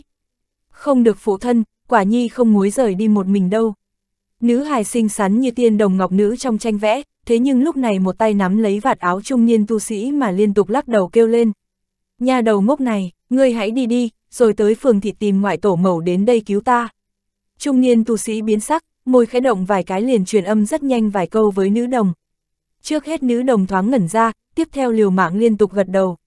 Tốt, còn không mau cút đi, nếu không thạch mỗ sẽ đổi ý đấy thạch luân tựa hồ không còn kiên nhẫn nữa mà tàn bạo gắt lên. Nữ đồng vừa nghe qua câu này, thoáng có chút ngẩn người, tuy rằng tuổi còn nhỏ nhưng cũng biết phân biệt nặng nhẹ. Nàng quyến luyến không nỡ rời đi, lại liếc mắt nhìn trung niên tu sĩ rồi mới vung tay ra, trên tay xuất hiện thêm một tấm phủ triện màu trắng, cái đó dán lên người lập tức quanh thân nổi lên một tầng bạch quang nhẹ bay lơ lửng, dự định bỏ chạy ra xa. Còn trung niên tu sĩ nắm thật chặt chiếc hộp gấm trong tay, mắt cũng không chấp chăm chú nhìn cử động của ái nữ, mắt thấy ba gã hắc y tu sĩ đứng yên đó, quả nhi nữ tử ngây thơ chất phác lướt người ngang qua tên Thạch Luân, khiến hắn thở dài ra một hơi nhẹ nhõm. Nhưng đúng lúc này dị biến xảy ra, nữ đồng mới từ bên cạnh Thạch Luân bay ra xa chừng hai ba trượng, trong mắt Thạch Luân chợt lóe hung quang, đột nhiên hắn vung tay lên rồi hóa thành một bóng đen tung ra một chảo về phía sau. A, nữ đồng thét lên kinh hãi, rốt cuộc không thể chống cự lại mà còn bị bóng đen túm lấy. Kế tiếp bị hút xuống dưới, thân hình nữ đồng bị kéo mạnh về sau, liền rơi vào tay của Thạch Luân. Một bàn tay xám xịt siết chặt cổ tay mềm mại của nữ đồng. Thạch Luân, ngươi muốn làm gì? Không sợ ta lập tức hủy đi huyết xâm sao? Trung niên tu sĩ thấy tình hình như vậy vừa giận vừa sợ, linh quang hai tay chấp động rồi ép xuống, đồng thời lớn tiếng quát lên. Hủy à, người không sợ ta sẽ vặn gãy cổ con tiểu nha đầu này sao? Ít nói lời thừa đi, lập tức mém chiếc hộp lại đây, nếu ta đếm tới ba mà ngươi vẫn không làm, ta sẽ động thủ ngay. Một, hai, Thạch Luân không thèm để ý đến lời uy hiếp của trung niên tu sĩ, trái lại năm ngón tay siết chặt hơn, bấm mạnh hơn khiến cho nữ đồng bị tươm máu, đồng thời lạnh lùng hô to đếm ngược thời gian, căn bản không để cho trung niên tu sĩ có cơ hội phản ứng. Hai gã hắc y tu sĩ đứng cạnh thấy tình hình như vậy thì mừng rỡ ra mặt, đến lúc này bọn hắn mới biết được ngay từ đầu tên đồng bạn đã không có ý định thả nữ đồng, bất quá chỉ muốn thi kế bắt người làm con tin để uy hiếp ngược lại đối phương mà thôi. Ngay cả trung niên tu sĩ có chút nhanh trí, nhưng vừa thấy qua tình hình như vậy cũng giận run cả người, trong đầu rối như tơ vò, mắt thấy Thạch Luân đếm tới tiếng thứ ba, cơ hồ như làm theo bản năng, lập tức cuống cuồng quang hộp ngọc ra xa. Một gã hắc y tu sĩ cười hắc hắc, tiến lên một bước rồi tung chảo ra. Vù một tiếng, nhất thời hộp gấm bị hút vào tay. Kiểm tra cái đã, hãy nhìn xem bên trong có cây huyết sâm không. Thạch Luân không chút do dự liền ra lệnh một tiếng. Được, Thạch Huynh, tên tu sĩ kia đang cầm hộp gấm nghe thế liền đáp ứng, tiếp theo khẽ lắc bàn tay, lập tức mở hộp gấm ra. Chỉ thấy một vầng huyết quang bên trong, có một gốc cây dài cả xích, toàn thân chấp động huyết quang, lẳng lặng nằm yên trong hộp. Thạch huynh, quả thật không sai, đây đúng là huyết sâm. Hắc y tu sĩ hé mở cặp mắt ti hí ra rồi trả lời với Thạch Luân. Thạch Luân cùng một gã khác nghe vậy cũng lộ vẻ vui mừng như điên. Được lắm, các người đã đoạt được huyết sâm rồi, cũng nên thả tiểu nữ ta ra đi trung niên tu sĩ sắc mặt vô cùng tái nhợt, sau khi cắn răng một phát lạnh lùng nói. Hừ, thả cho các người rời đi à, rồi sau đó chạy đi tìm vị nhạc hoa tiên tử kia để gây phiền phức cho chúng ta sao Thạch Luân nghe qua câu đó lại hừ lạnh một tiếng sắc mặt lộ nét nhanh ác. Các người cũng biết nhạc mẫu của bạch mỗ mà còn dám hạ độc thủ sao. Trung niên tu sĩ vừa nghe qua lời này trong lòng thoáng trầm xuống. Ha ha, người nghĩ là ta chưa biết tường tận nội tình của ngươi, mà ba người thạch mỗ đã dám ra tay đấy à? Tuy rằng bọn ta chẳng muốn trêu chọc tới tu sĩ kết đan kỳ chút nào, nhưng ai bảo ngươi lại mang huyết sâm trên người làm chi? Chỉ cần đoạt được cây huyết sâm này, thì cơ hội kết đan của ba người bọn ta đều nắm trong tầm tay, lúc đó cần gì phải sợ nhạc hoa tiên tử nữa chứ? Huống chi hai người phụ tử các ngươi đều chết không toàn thây tại đây, khi đó có ai biết được chuyện ba huynh đệ ta làm chứ? Đủ rồi, bổn đại gia không cần nhiều lời với ngươi nữa, động thủ nào. Thạch Luân cười điên cuồng một hồi, sau đó hét to một tiếng, bàn tay đang nắm giữ nữ đồng chợt lóe lên hắc quang, động thủ trước một bước. Khóe mắt trung niên tu sĩ muốn nứt toát ra, gầm lên một tiếng, tay áo bảo run lên, trong tay xuất hiện thêm một thanh tiểu kiếm màu vàng đang run lên muốn phóng thẳng vào tên Thạch Luân đó. Nhưng rất rõ ràng, động tác này căn bản chẳng kịp giải cứu cho nữ đồng. Khóe miệng Thạch Luân nhếch lên nhanh ác, năm ngón tay vận lực, muốn trực tiếp bẽ gãy cổ nữ đồng ra. Nhưng ngay lúc chỉ mảnh treo chuông này, bỗng nhiên xuất hiện một màn hết sức bất ngờ. Thạch Luân thấy không gian gần đó chợt ba động, nguyên trước đây hắn đang nắm giữ cổ tay rất chặt, bỗng chốc nơi tiếp xúc trở nên vô cùng lạnh lẽo, đồng thời từ đầu ngón tay truyền ra một cơn đau nhức khó mà chịu nổi. Hắn buộc miệng hét thảm một tiếng, theo đó vội vàng kinh hãi ngó mấy ngón tay. Chẳng còn thấy nữ nồng bạch quả nhi trong tay nữa, mà đã bị thay thế bằng một thiết khôi lỗi hắc quang chấp lóe. Thế nhưng khôi lỗi này trông thoáng qua thấy chẳng có điểm nào thô cứng cả, vậy mà toàn thân lại mọc đầy gai màu xanh lam nhỏ cỡ một tấc. Lúc này bàn tay đang nắm lấy khôi lỗi đều bị gai nhọn đâm thủng, máu chảy ròng ròng. Tên tu sĩ Thạch Luân này dựa vào tu vi khá mạnh mẽ, lát sau cổ tay run lên, hắn đã hung hăng quăng thiết khôi lỗi vứt trên mặt đất gần đó, đồng thời gầm la lên. Ai ám toán ta, mau trường mặt ra đây. Mới vừa la ầm lên, trong nháy mắt bàn tay hắn lắc nhẹ, xuất hiện một sấp giày cộm pháp kỳ đen tuyền trong tay. Vẻ mặt trung niên tu sĩ hết sức nghi ngờ không hiểu. Lúc này, hai gã hắc y tu sĩ còn lại cũng bừng tỉnh phát hiện, có tên vung ra một cặp đoạn thương ngân sắc, còn tên kia tế ra một quái thuẫn màu đen, đồng thời phóng thần niệm ra bốn phía tìm kiếm. Đại thiếu, ta nghĩ không ổn rồi, trận này nhất định phải đánh nhau thôi một thanh âm lạnh lẽo từ phía sau đại thụ gần đó đột nhiên truyền ra. Bọn ba người Thạch Luân nghe qua biến sắc, tăng cường cảnh giác đồng thời nhìn về hướng phát ra âm thanh. Hừ, không cần ngươi nói ra, hải đại thiếu ta trước giờ chưa gặp phải chuyện kinh tởm đến thế này. Cướp đoạt thì cứ lấy đi, vậy mà còn muốn hạ thủ với cả con nít nữa, ta nhất định đánh cho đám này mặt nở đầy hoa mới được. Bất quá, hai người bọn ta chưa chắc đánh nổi ba tên gia hỏa đó đâu thanh âm của một nam tử khác thở phì phò cũng vang lên từ phía sau cây đại thụ. Ha ha, sợ gì chứ, chẳng phải còn có hàn huynh đây sao, ba người chúng ta đấu với ba tên đó, cho dù đánh không lại đi nữa cũng tuyệt đối chẳng nguy hiểm gì. Thanh âm đầu tiên vốn lạnh lẽo bỗng nhiên phá lên cười vui vẻ. chương 1779, ba đấu ba. Bọn ba người thạch luân sắc mặt âm trầm, không nói tiếng nào liền nhìn chằm chằm về hướng cây đại thụ. Kết quả thấy lóe lên linh quang màu xanh phía sau gốc cây, bỗng hiện ra thêm ba tên tu sĩ xa lạ. Một gã mặc nho bào màu vàng, đúng là một Mỹ nam tử khoảng hơn 30 tuổi. Một tên trên lưng đeo thanh một kiếm đen tuyền, chính là một tiểu đạo sĩ ước chừng 17-18 tuổi. Người cuối cùng là một thanh niên vận thanh bào, niên kỷ trông khoảng 20, khuôn mặt rất bình thường chẳng có điểm nào bắt mắt cả, nhưng trên tay hắn đang cầm một tấm phù triện ngân sắc, tay còn lại dẫn theo một thân hình nhỏ nhắn xinh xắn, đúng là nữ đồng bạch quả nhi. Hiển nhiên bọn hắn chính là ba người nhóm Hàn Lập, quả thật cũng khéo, ba người bọn họ vừa trải qua một phen lặn lội đường xa, cũng mới vừa tới chỗ này. Do đã tới gần phụ cận cửu tiên sơn, lại thêm lúc trước cả đám đã chạy suốt một khoảng thời gian, nên bọn hắn dự định dừng lại điều tức một đêm, rồi ngày mai sẽ đi xung quanh tìm phường thị. Rốt cuộc, ba người còn chưa kịp ngồi nghỉ ngơi thì đám người Thạch Luân cũng kéo tới nơi hẻo lánh này, cũng chẳng xem bọn hắn vào đâu ngay tại chỗ này mà phô diễn một màn giết người đoạt bảo. Bất quá, chuyện giống như vậy ở linh giới hẳn nhiên xảy ra rất nhiều, nhưng có điều tên Thạch Luân này chẳng những đã lật lọng mà còn dùng một đứa trẻ để uy hiếp đối phương, thật quá mức ti tiện mà. Khiến cho hai người bọn hải đại thiếu vốn mang trong người tấm lòng chính nghĩa, thật sự không thể nhịn được, nên tự nhiên phải xuất hiện và âm thầm ra tay cứu người.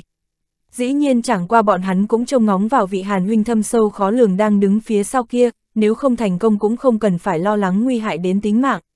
Lúc đó hai người tức giận đầy bụng nên lập tức nhảy ra can thiệp, Hàn Lập thấy vậy cũng chỉ biết cười khổ một tiếng rồi theo ra.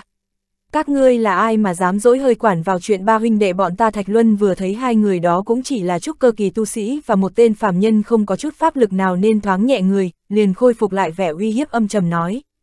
Khí linh tử, cái chiêu thay mận đổi đào này của ngươi thật là thú vị, có thể trực tiếp đem tiểu nha đầu này thay thế bằng khôi lỗi đó. Bất quá, lần trước tại sao ngay lúc chúng ta gặp nạn lại không thấy ngươi đem thứ này ra sử dụng?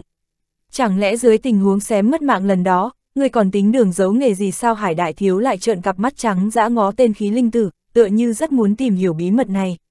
Phi, cái gì mà giấu nghề chứ? người tưởng rằng tấm phù thay mận đổi đào này rất dễ luyện và sử dụng à? Trước kia chỉ vì muốn luyện chế tấm phù này, cơ hồ ta đã chi hết toàn bộ gia sản mới có thể chế được một tấm duy nhất này. Kết quả ta còn phát hiện ra pháp lực bản thân còn chưa đủ sức để khu động, vừa rồi nếu không phải ta đem phù triện này ra nhờ Hàn Huynh kích phát, thì căn bản chúng ta không thể cứu được tiểu nha đầu này đâu mặt khí linh tử lộ rõ vẻ bị oan ức, thiếu điều chút nữa đã nhảy cấm lên luôn. Có chuyện này nữa à hải đại thiếu ngẩn người ra, bộ dạng có chút bất ngờ. Hai gã này một hỏi một đáp, căn bản không thèm đếm xỉa gì tới câu hỏi của tên Thạch Luân kia, khiến cho sắc mặt hắn xanh mét, đồng thời trong mắt hai tên hắc y tu sĩ cũng chấp động hung quang. Về phần Hàn Lập, cánh tay vừa rung lên đã tùy ý đặt nữ đồng xuống đất, trên mặt lộ ra thần sắc hơi cười cười. Còn Bạch Quả Nhi bởi vì mới vừa thoát chết trong đường tơ kẽ tóc, nên có chút kinh hoàng bất định, hơi ngơ ngác nhìn đám người Hàn Lập, rồi lóng nga lóng ngóng không biết phải làm thế nào. Động thủ đi, hãy giết ba tên tiểu tặc này khuôn mặt Thạch Luân trầm xuống, rốt cuộc cũng thốt ra một câu đằng đằng sát khí. Theo kinh nghiệm của hắn, tuy rằng đối thủ nhiều hơn ba người, nhưng trong đám đó đáng phải chú ý nhiều nhất chính là tên thanh niên trúc cơ hậu kỳ mà nãy giờ chưa từng thốt ra lời nào. Còn hai người kia, một tên là trúc cơ sơ kỳ, tên còn lại chỉ là một phàm nhân bình thường, cộng thêm trung niên nam tử lúc trước nữa cũng có tu vi trúc cơ trung kỳ thôi. Ba người bọn chúng đều là tu sĩ trúc cơ hậu kỳ đỉnh phong, chỉ xem tu vi cảnh giới thôi đã hoàn toàn đủ sức đè bẹp đối phương. Huống chi với pháp lực của hắn có thể khiến cho hai tên đồng bạn phải kiêng kỵ như thế, tất nhiên cũng có một đòn sát thủ cực kỳ lợi hại nào đó, dù cho đối với kết đan tu sĩ cũng có thể uy hiếp được. Do đó, hắn tin tưởng tuyệt đối sẽ đánh bại những người trước mắt này. Có phiền toái duy nhất chính là muốn diệt sát cùng lúc thì hắn không đủ khả năng. Dù sao nếu đối phương đã muốn chạy trốn thì quả thật không có cách nào tiêu diệt sạch sẽ được. Đấy cũng chính là lý do tại sao ngay từ đầu hắn vẫn chưa muốn động thủ, mà nguyên nhân chủ yếu là muốn dùng lời nói thu hút bọn ba người Hàn Lập. Đây cũng chẳng phải là lần đầu tiên giết người đoạt bảo của gã Thạch Luân này, trước mắt hắn thấy không thể lung lay được mấy người, liền không nghĩ thêm nhiều nữa, lúc này sát khí nổi lên muốn ra tay động thủ. Dựa theo hắn phán đoán, cho dù có một tên trong số đó thật sự chạy thoát đi nữa, thì bất quá bọn hắn sẽ lập tức rời khỏi cửu tiên sơn tránh nạn một thời gian không trường mặt ra nữa là được. Hơn nữa, làm gì có chuyện cao giai tu sĩ nào đó chỉ vì việc vặt vãnh này mà thật sự muốn truy sát bọn hắn chứ. Cho nên hắn chỉ mới vừa thốt ra chữ động, thôi, lập tức nguyên sấp pháp kỳ màu đen đang cầm trong tay bỗng chốc hóa thành mười mấy đạo hắc quang phát ra công kích, chỉ có điều mục tiêu không phải là ba người hàn lập, mà lại chính là trung niên nam tử đang đứng gần đó. Còn hai gã hắc y tu sĩ kia cũng vung cặp ngân thương và hắc thuẫn lên, hóa thành hai đạo ngân quang cùng đám mây đen hung hăng vọt tới trước người trung niên nam tử. Ba tên này thường xuyên liên thủ đối địch, nên không cần thương lượng gì cả, liền đồng thời ra tay. Ý đồ của bọn hắn quá rõ ràng, trước tiên liên thủ thu thập xong trung niên nam tử, rồi mới từ từ đối phó ba người hàn lập sau. Lúc này trung niên nam tử gặp tình hình vây công nên sắc mặt trắng bạch, cổ tay liền dứt khoát run lên, rồi phóng ra thanh tiểu kiếm màu vàng đang cầm trong tay, lập tức xuất hiện một màng kiếm bay lượn xung quanh thân hình. Tiếp theo một tay áo vung lên, lại bay ra đám hoàng sa sau đó hóa thành nhiều điểm tinh quang rồi bao trùm lấy thân thể. Oanh long, một tiếng nổ thật lớn, màng chắn kiếm ảnh dễ dàng bị uy lực của ba loại pháp khí phá nát, nhưng khi tiếp xúc với những hạt hoàng sa này lại chấn động rồi bị chặn lại. Lần này khiến cho bọn người Thạch Luân có chút bất ngờ. Bất quá, bọn hắn lại lập tức thúc động pháp khí tiếp tục công kích vào, khiến cho lớp tinh quang trên hoàng sa ảm đạm đi. Nhưng đúng lúc này, Hải Đại Thiếu lại hét lớn một tiếng, dậm mạnh chân xuống đất. Lập tức mặt đất dưới chân hắn khẽ run lên, thân hình hắn kích bắn tới trước, sau một thoáng chấp động, liền xuất hiện trên đầu của tên hắc y tu sĩ sử dụng ngân thương. Hai tay Hải Đại Thiếu ngăn lại, không biết lúc nào trên đôi tay hắn đã hiện ra một cặp bao tay ánh vàng rực rỡ, cánh tay vừa huy động, lập tức vô số kim sắc quyền ảnh điên cuồng đánh xuống như mưa sa bão táp. Tuy quyền ảnh chưa xuống tới, đã xuất hiện cỗ khí thế kinh người thấu qua quyền ảnh mà bao phủ xuống dưới. Hắc y tu sĩ đứng phía dưới chấn động, làm sao còn tâm trí công kích trung niên nam tử nữa, vội vàng biến đổi pháp quyết trong tay. Hai đạo ngân thương ở xa xa chợt lóe lên rồi tức tốc quay trở về, hóa thành một mảnh ngân quang bảo vệ bản thân. Ngay sau đó, tiếng gầm rú truyền ra liên miên của cả hai, kim mang và ngân quang đan xen vào nhau, rồi bao phủ toàn bộ thân hình hai người vào trong. Nhưng lúc đó, hải đại thiếu cất tiếng cười lớn, kim sắc quyền ảnh trong nháy mắt đại phóng kim quang, trông giống như một vầng thái dương sáng chói, liền ép luồng ngân quang liên tiếp lui về phía sau. Linh cụ, luyện thể sĩ, một gã hắc y tu sĩ khác thấy tình hình như vậy, sắc mặt thoáng chốc biến đổi, đột nhiên hắc thuẫn đổi hướng một chút, trông có vẻ như muốn giáp công hải đại thiếu vậy. Nhưng đúng lúc này, tên khí linh tử đang rung đùi đắc ý ở đằng xa bỗng thở dài một hơi cũng ủ rũ lẩm bẩm nói. Sao hai người lại có thể đánh một được chứ, quá vô sĩ đi mà. Thật không còn cách nào khác, tuy rằng ta mang danh đứng đầu, nếu động thủ với các ngươi thì hơi mất thân phận một chút, nhưng vì tên hải đại thiếu này đành phải phá lệ một phen vậy. Vừa dứt lời, tiểu đạo sĩ giơ đơn trưởng ra, đã đem một tấm phủ màu lam dán lên người. Một mảnh lam quang lóe lên rồi lướt qua, sau đó thân ảnh khí linh tử bỗng nhiên biết mất không thấy nữa. Lập tức ngay lúc này, quầng lam quang lại chấp động rồi hiện lên trên đầu tên hắc y tu sĩ sử dụng tấm chắn. Tên tu sĩ này xem ra cũng có kinh nghiệm tranh đấu rất phong phú, thoáng thấy tình hình dị biến trên không trung, liền không cần vội vàng phát động tấm chắn trợ giúp đồng bạn, mà trực tiếp hóa thành một đám mây đen kích thẳng vào quầng lam quang. ầm, um, luồng lam quang lại giống như một vũng nước thoáng cái bị đánh cho tan nát, hóa thành vô số quang điểm lam sắc rồi tan ra biến mất. Thế nhưng bên trong lại trống không, chẳng hề thấy bóng dáng khí linh tử đâu cả. Không tốt, tên hắc y tu sĩ thầm kêu một tiếng, nhưng lại có chút muộn màng, ngay phía sau lưng đột nhiên ngưng tụ lại một đoàn khói lam sắc. Tiếp theo vang lên tiếng rít xé gió rất lớn, hơn 10 mũi tên băng dài hơn thước ác liệt kích bắn bay ra. Với khoảng cách hiện tại, cho dù hắc y tu sĩ có pháp lực hơn xa khí linh tử đi nữa, nhưng căn bản đã khó lòng phòng bị, nên tức thì đám tên băng lam sắc chấp động rồi nhắm sau lưng tên tu sĩ mà phóng tới. Thế nhưng chỉ thấy hắc quang lóe sáng, cái đó một hư ảnh trông tựa hắc hổ chợt hiện ra. Ngay chỗ tên băng đánh chúng, hết 8-9 phần bị chặn rớt xuống, chỉ có mỗi một mũi thật sự đánh thấm lên lưng của tên hắc y tu sĩ đó thôi. Dù chỉ bị trúng thương một mũi tên, nhưng lập tức máu tươi cũng theo trên người âm ý chảy ra. Số tiểu tử, ta sẽ lấy mạng ngươi tên hắc y tu sĩ này bị khí linh tử đánh lén thụ thương nhất thời cực kỳ nổi giận, đột nhiên một tay bấm quyết niệm chú, từ trong cổ tay áo bay ra mấy khỏa hắc sắc quỷ đầu, miệng phun lửa vàng rừng rực, đồng loạt hung tợn lao về phía tiểu đạo sĩ. Khí linh tử thấy vậy muốn nhảy dựng lên, vội vàng khoát tay đã đem hắc một kiếm sau lưng ra cầm trên tay, tiếp theo tay cũng bắt quyết niệm chú, một kiếm liên tiếp đâm về phía trước điểm điểm không ngừng. Nhất thời từng đạo lam quang phun ra từ mũi kiếm, rất chuẩn xác đánh vào đầu hắc khô lâu đó, thế nhưng cũng chỉ có thể làm cho chúng nó hơi đình trệ lại một chút, cũng không thể nào chân chính đối đầu được. Tuy nhiên không rõ khí linh tử này tu luyện độn thuật loại nào, mà ngoài thân lam quang chấp động, nhân ảnh lại tựa như rất đổi bình thường giống cá gặp nước vậy, thân pháp lúc ẩn lúc hiện trên không, khiến cho bất cứ là pháp khí hay tu vi của đối thủ đều xuyên qua hắn, thế nhưng nhất thời vẫn chưa làm được gì. Sắc mặt Thạch Luân còn khó coi hơn lúc nãy nữa, tuy đối phương mới chỉ có hai người ra tay thôi, nhưng rõ ràng đã rất khó giải quyết rồi, thật quá bất ngờ. Bản thân hắn tin tưởng hai gã đồng bọn cuối cùng vẫn có thể diệt được đối thủ, nhưng chắc chắn hắn không có nhiều thời gian chờ đợi đến vậy. Bất giác vẻ hung ác nổi lên, hắn cũng không thèm quan tâm tới mười mấy đạo hắc quang đang tấn công ảo ạt trung niên nam tử không ngừng nữa. Lúc này tay vừa lật chuyển lại xuất hiện thêm một chiếc áo da đỏ như máu, bên trong mơ hồ có tiếng động vù vù truyền ra. Đúng lúc này, bỗng nhiên sau lưng hắn truyền tới một thanh âm lạnh lùng. Ồ, là linh trùng sao? Tựa hồ cấp bậc không thấp chút nào. Một gã trúc cơ tu sĩ mà có được linh trùng cỡ này, coi như người cũng có chút bổn sự. chương 1780, Hàn Độc, Thạch Luân vừa nghe bảo thế, nhất thời trong lòng cả kinh, cơ hồ không chút lưỡng lự ném thẳng túi ra về phía sau. Phốc, một âm thanh ngân vang, túi ra lập tức bị nổ tung, đồng thời bay tán loạn ra một bầy huyết sắc độc phong. Tiếng động vù vù nổi lên, sau đó đám huyết phong này hóa thành đoàn huyết phân, bay thẳng đến gã thanh niên không biết xuất hiện từ lúc nào ở sau lưng Thạch Luân. Hiển nhiên tên thanh niên này đột nhiên hiện ra đã thi triển thuật thuấn di chính là Hàn Lập. Vừa ngó thấy bầy huyết phong nhắm hướng mình bùa xuống, hắn liền cười ảm đạm. Số lượng huyết phong này rõ ràng không ít, khoảng chừng 3-400 con gì đó. Đối phương đã bỏ công đào luyện tới mức thành thục rồi, thật tốn khá nhiều tâm huyết, cho dù tu sĩ kết đan kỳ gặp phải tình trạng này chỉ sợ cũng phải kiêng kỵ vài phần. Tất nhiên với hắn mà nói, căn bản không đáng nhắc tới.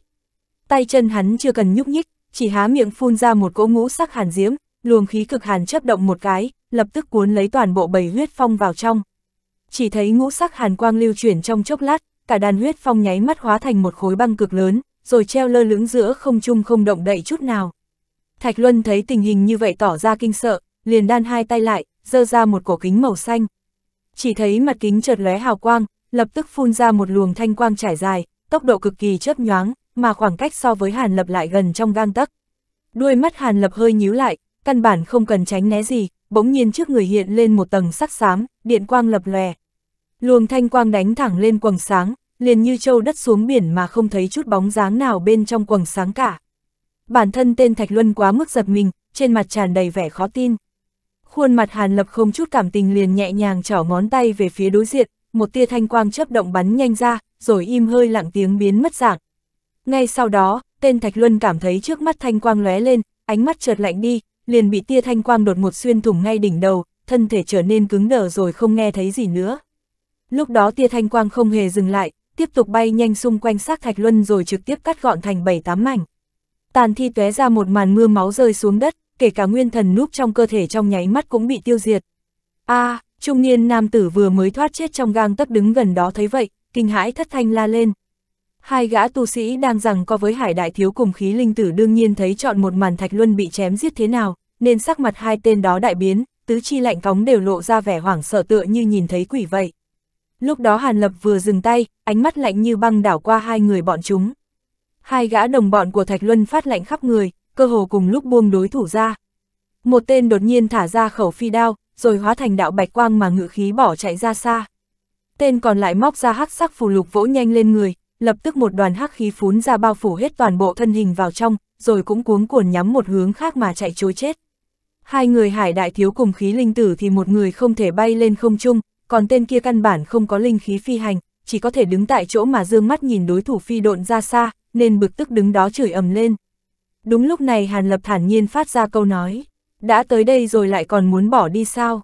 Lời vừa dứt, trên người Hàn Lập vang lên tiếng sấm, hai đạo kim sắc lôi quang bắn ra liền đuổi theo sau lưng bóng dáng hai gã tu sĩ đang chạy trốn. Hai tiếng oanh oanh vang lên, hai gã tu sĩ ngay hướng kim sắc lôi quang kích phát lập tức hóa thành cho tàn mà không kịp kêu rên tiếng nào. Hải đại thiếu và khí linh tử đang đứng đó nhất thời ngẩn người ra như phỗng. Một lát sau tên Mỹ nam tử kia mới hừ một tiếng rồi nói. Khí linh tử, bản thân ngươi là tu sĩ trúc cơ kỳ, Hàn huynh cũng là trúc cơ tu sĩ, nhưng tại sao thần thông ngươi lại kém quá xa vậy? ngươi đánh một lúc lâu cũng không thu thập được đối thủ, thế nhưng Hàn Huynh chỉ cần phất tay liền tiêu diệt gọn. Ta không hiểu là ngươi quá yếu hay do Hàn Huynh quá lợi hại đây nữa. Tên khí linh tử vốn còn đang hoảng sợ vừa nghe qua lời này liền hoàn toàn tỉnh táo, lúc này buồn bực trong lòng đều tuôn ra.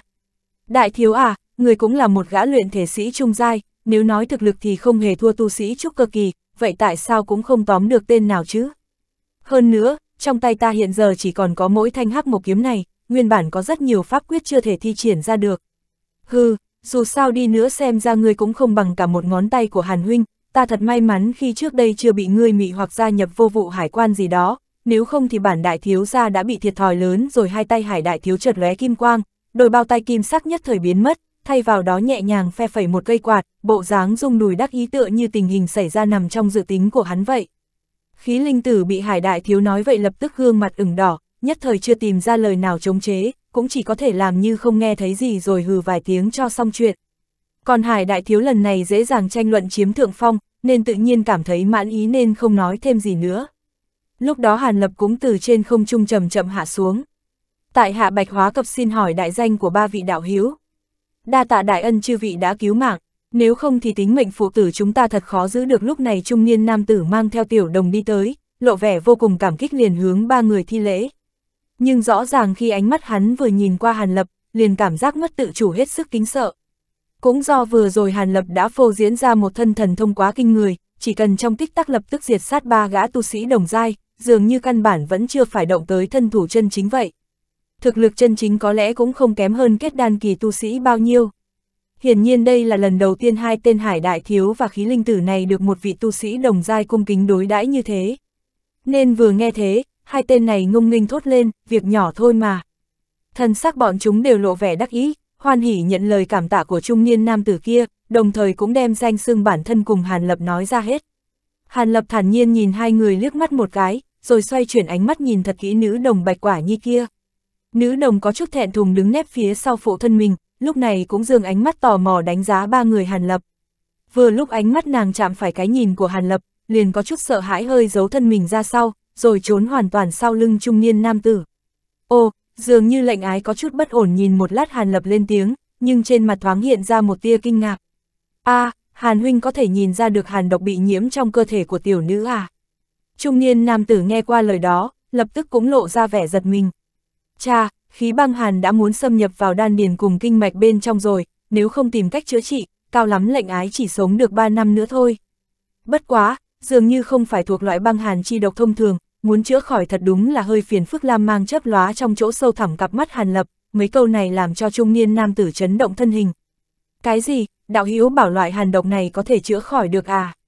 Bạch hóa cập không tin nỗi vào hai tai mình, thanh âm có chút phát run mà liên tục hỏi lại. Hàn lập mỉm cười, đang tính trả lời nhưng đột nhiên nhướng mày lên, tiếp theo ngẩng đầu lên nhắm phía chân trời xa xa tựa như phát hiện ra chuyện gì thì phải. Những người khác thấy tình hình như vậy đều ngẩn người ra, không cưỡng lại được cũng đều nhìn theo, nhưng rõ ràng trên không trung xa xa vẫn trống trải chẳng có chút điểm dị thường nào. Hàn huynh, ngươi, hải đại thiếu khép cây quạt lại, không nhịn được nên mở miệng tính hỏi. Đúng ngay lúc này, ở phía chân trời lóe lên luồng bạch quang, rồi chợt hiện ra đạo bạch hồng phá không bắn tới chỗ bọn họ. a là ngoại tổ mẫu. Nữ nồng vừa thấy đạo bạch hồng xa xa liền vẫy tay mừng rỡ, trung niên nam tử cũng lộ ra vẻ vui mừng. À, là tu sĩ kết đan kỳ, chẳng lẽ chính là nhạc hoa tiên tử mà bọn họ nhắc tới. Hàn lập gật đầu, thần sắc trên mặt vẫn bình thường, chưa lộ ra chút khác thường nào cả. Một lát sau, đạo bạch hồng đã bay đến không trung trên đầu mọi người, độn quang chợt tắt liền hiện ra một thiếu phụ quần trắng, chừng hơn 30 tuổi, tú lệ đoan trang. Quả nhi, các ngươi không bị gì chứ thiếu phụ vừa hiện thân ra, mặt mày vốn đang lo lắng nhưng khi thấy rõ nữ đồng cùng trung niên nam tử đó, liền hỏi một hơi. Nhạc mẫu đại nhân, tiểu tế vẫn bình yên vô sự.